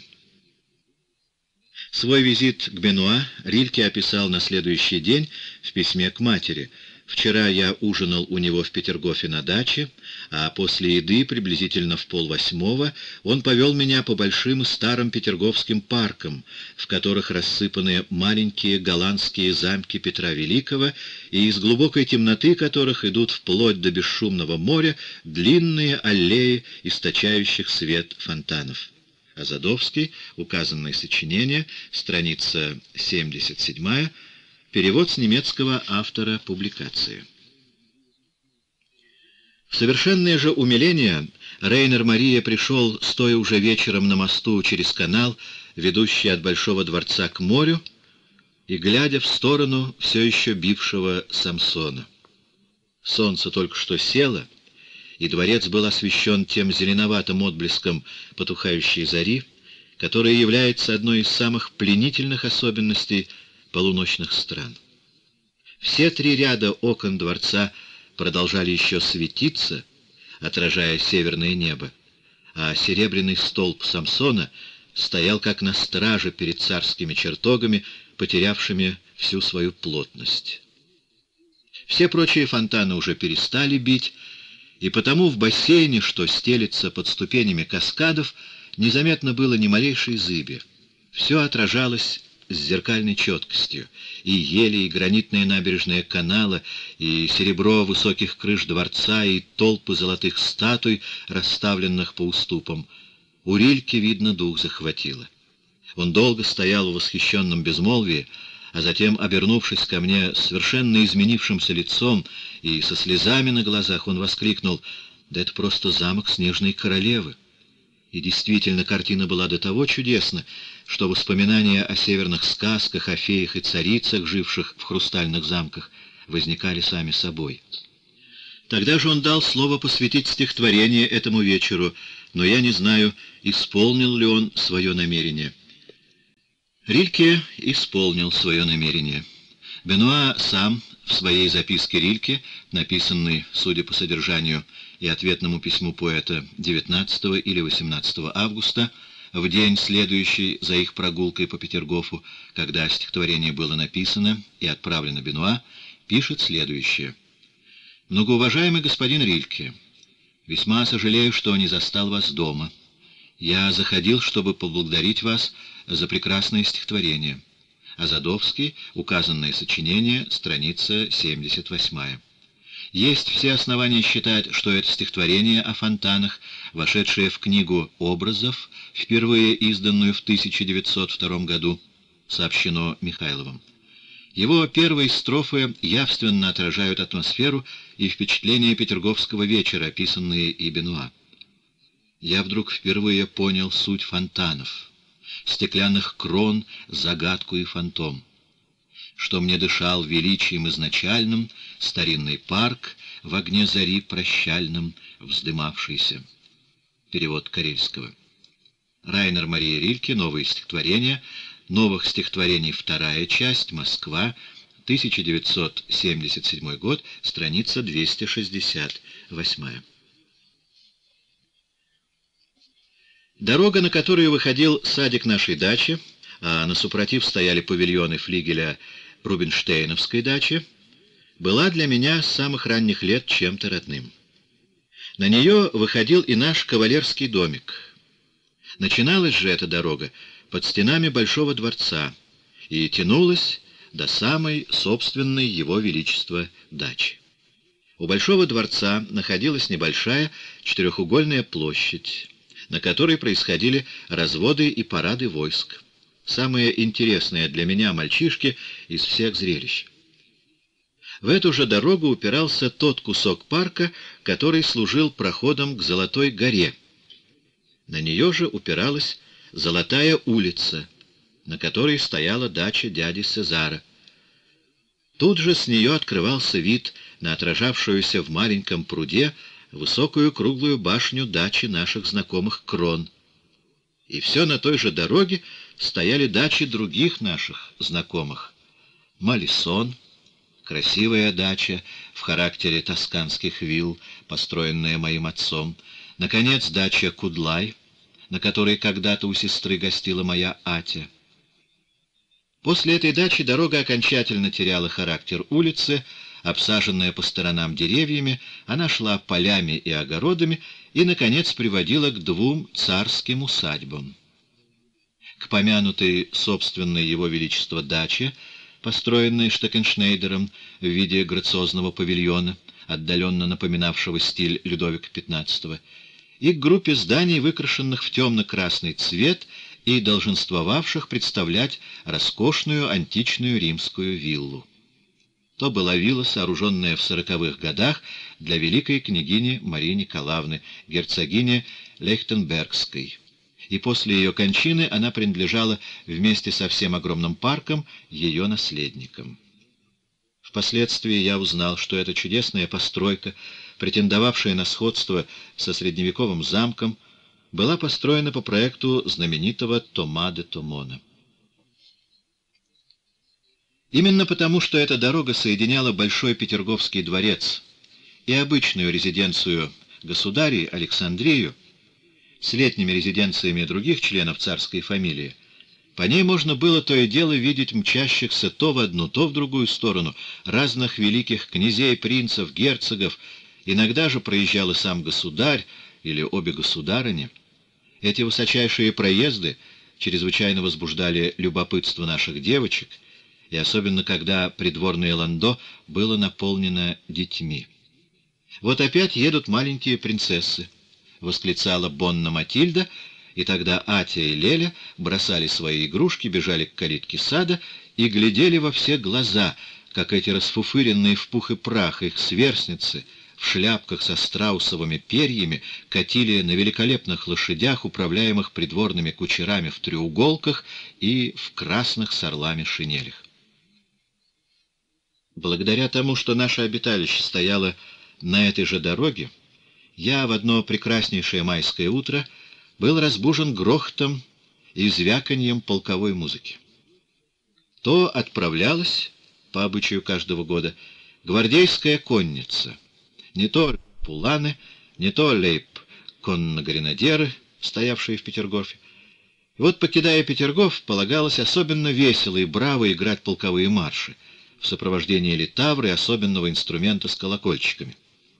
Это было так красиво и так особенно. Продолжая играть свой марш, разбудившее меня воинство свернуло направо и стало спускаться к нижнему шоссе. Звуки же музыки все более тускнели и, наконец, совсем замерли. Среди разных музыкальных впечатлений этот сыгранный на походе марш принадлежит к одним из самых сильных и наиболее отчетливо запомнившихся. Долгое время я помнил благородно-ухорский мотив, и когда я его себе напевал, то в памяти сразу же возникали и та наша спальня с белыми кисейными занавесками, и высокие, но еще едва убранные листвой деревья сада, и чудесный весенний аромат, вливавшийся через раскрытые настежь окна. Заодно вспоминаются и всякие другие милые звуки, которые были вообще присущи дачам.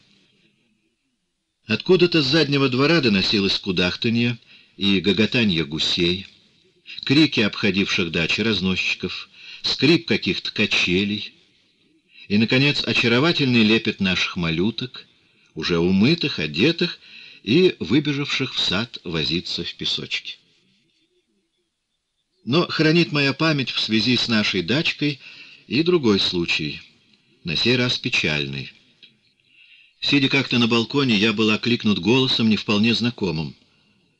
К большому удивлению, я увидал у калитки, пытающегося ее отомкнуть, Нестерова. Я был обрадован его посещению, однако то печальное лицо, с которым он сдержанно отвечал на мои приветствия, сразу показало, что он явился не с доброй вестью. И действительно, он чрезвычайно огорчил меня, сообщив, что за день или за два скончался Левитан. Левиташа, как он его называл. Я не был близок с Левитаном, и поэтому горе мое не было из тех, что испытываешь, теряя людей, к которым привязан сердечно. Однако это исчезновение в полном расцвете силы таланта, чудесного поэта русской природы, показалось мне ужасной утратой для русской живописи, для той самой русской живописи, историей которой я уже целый год как был занят и в которую я все более вживался.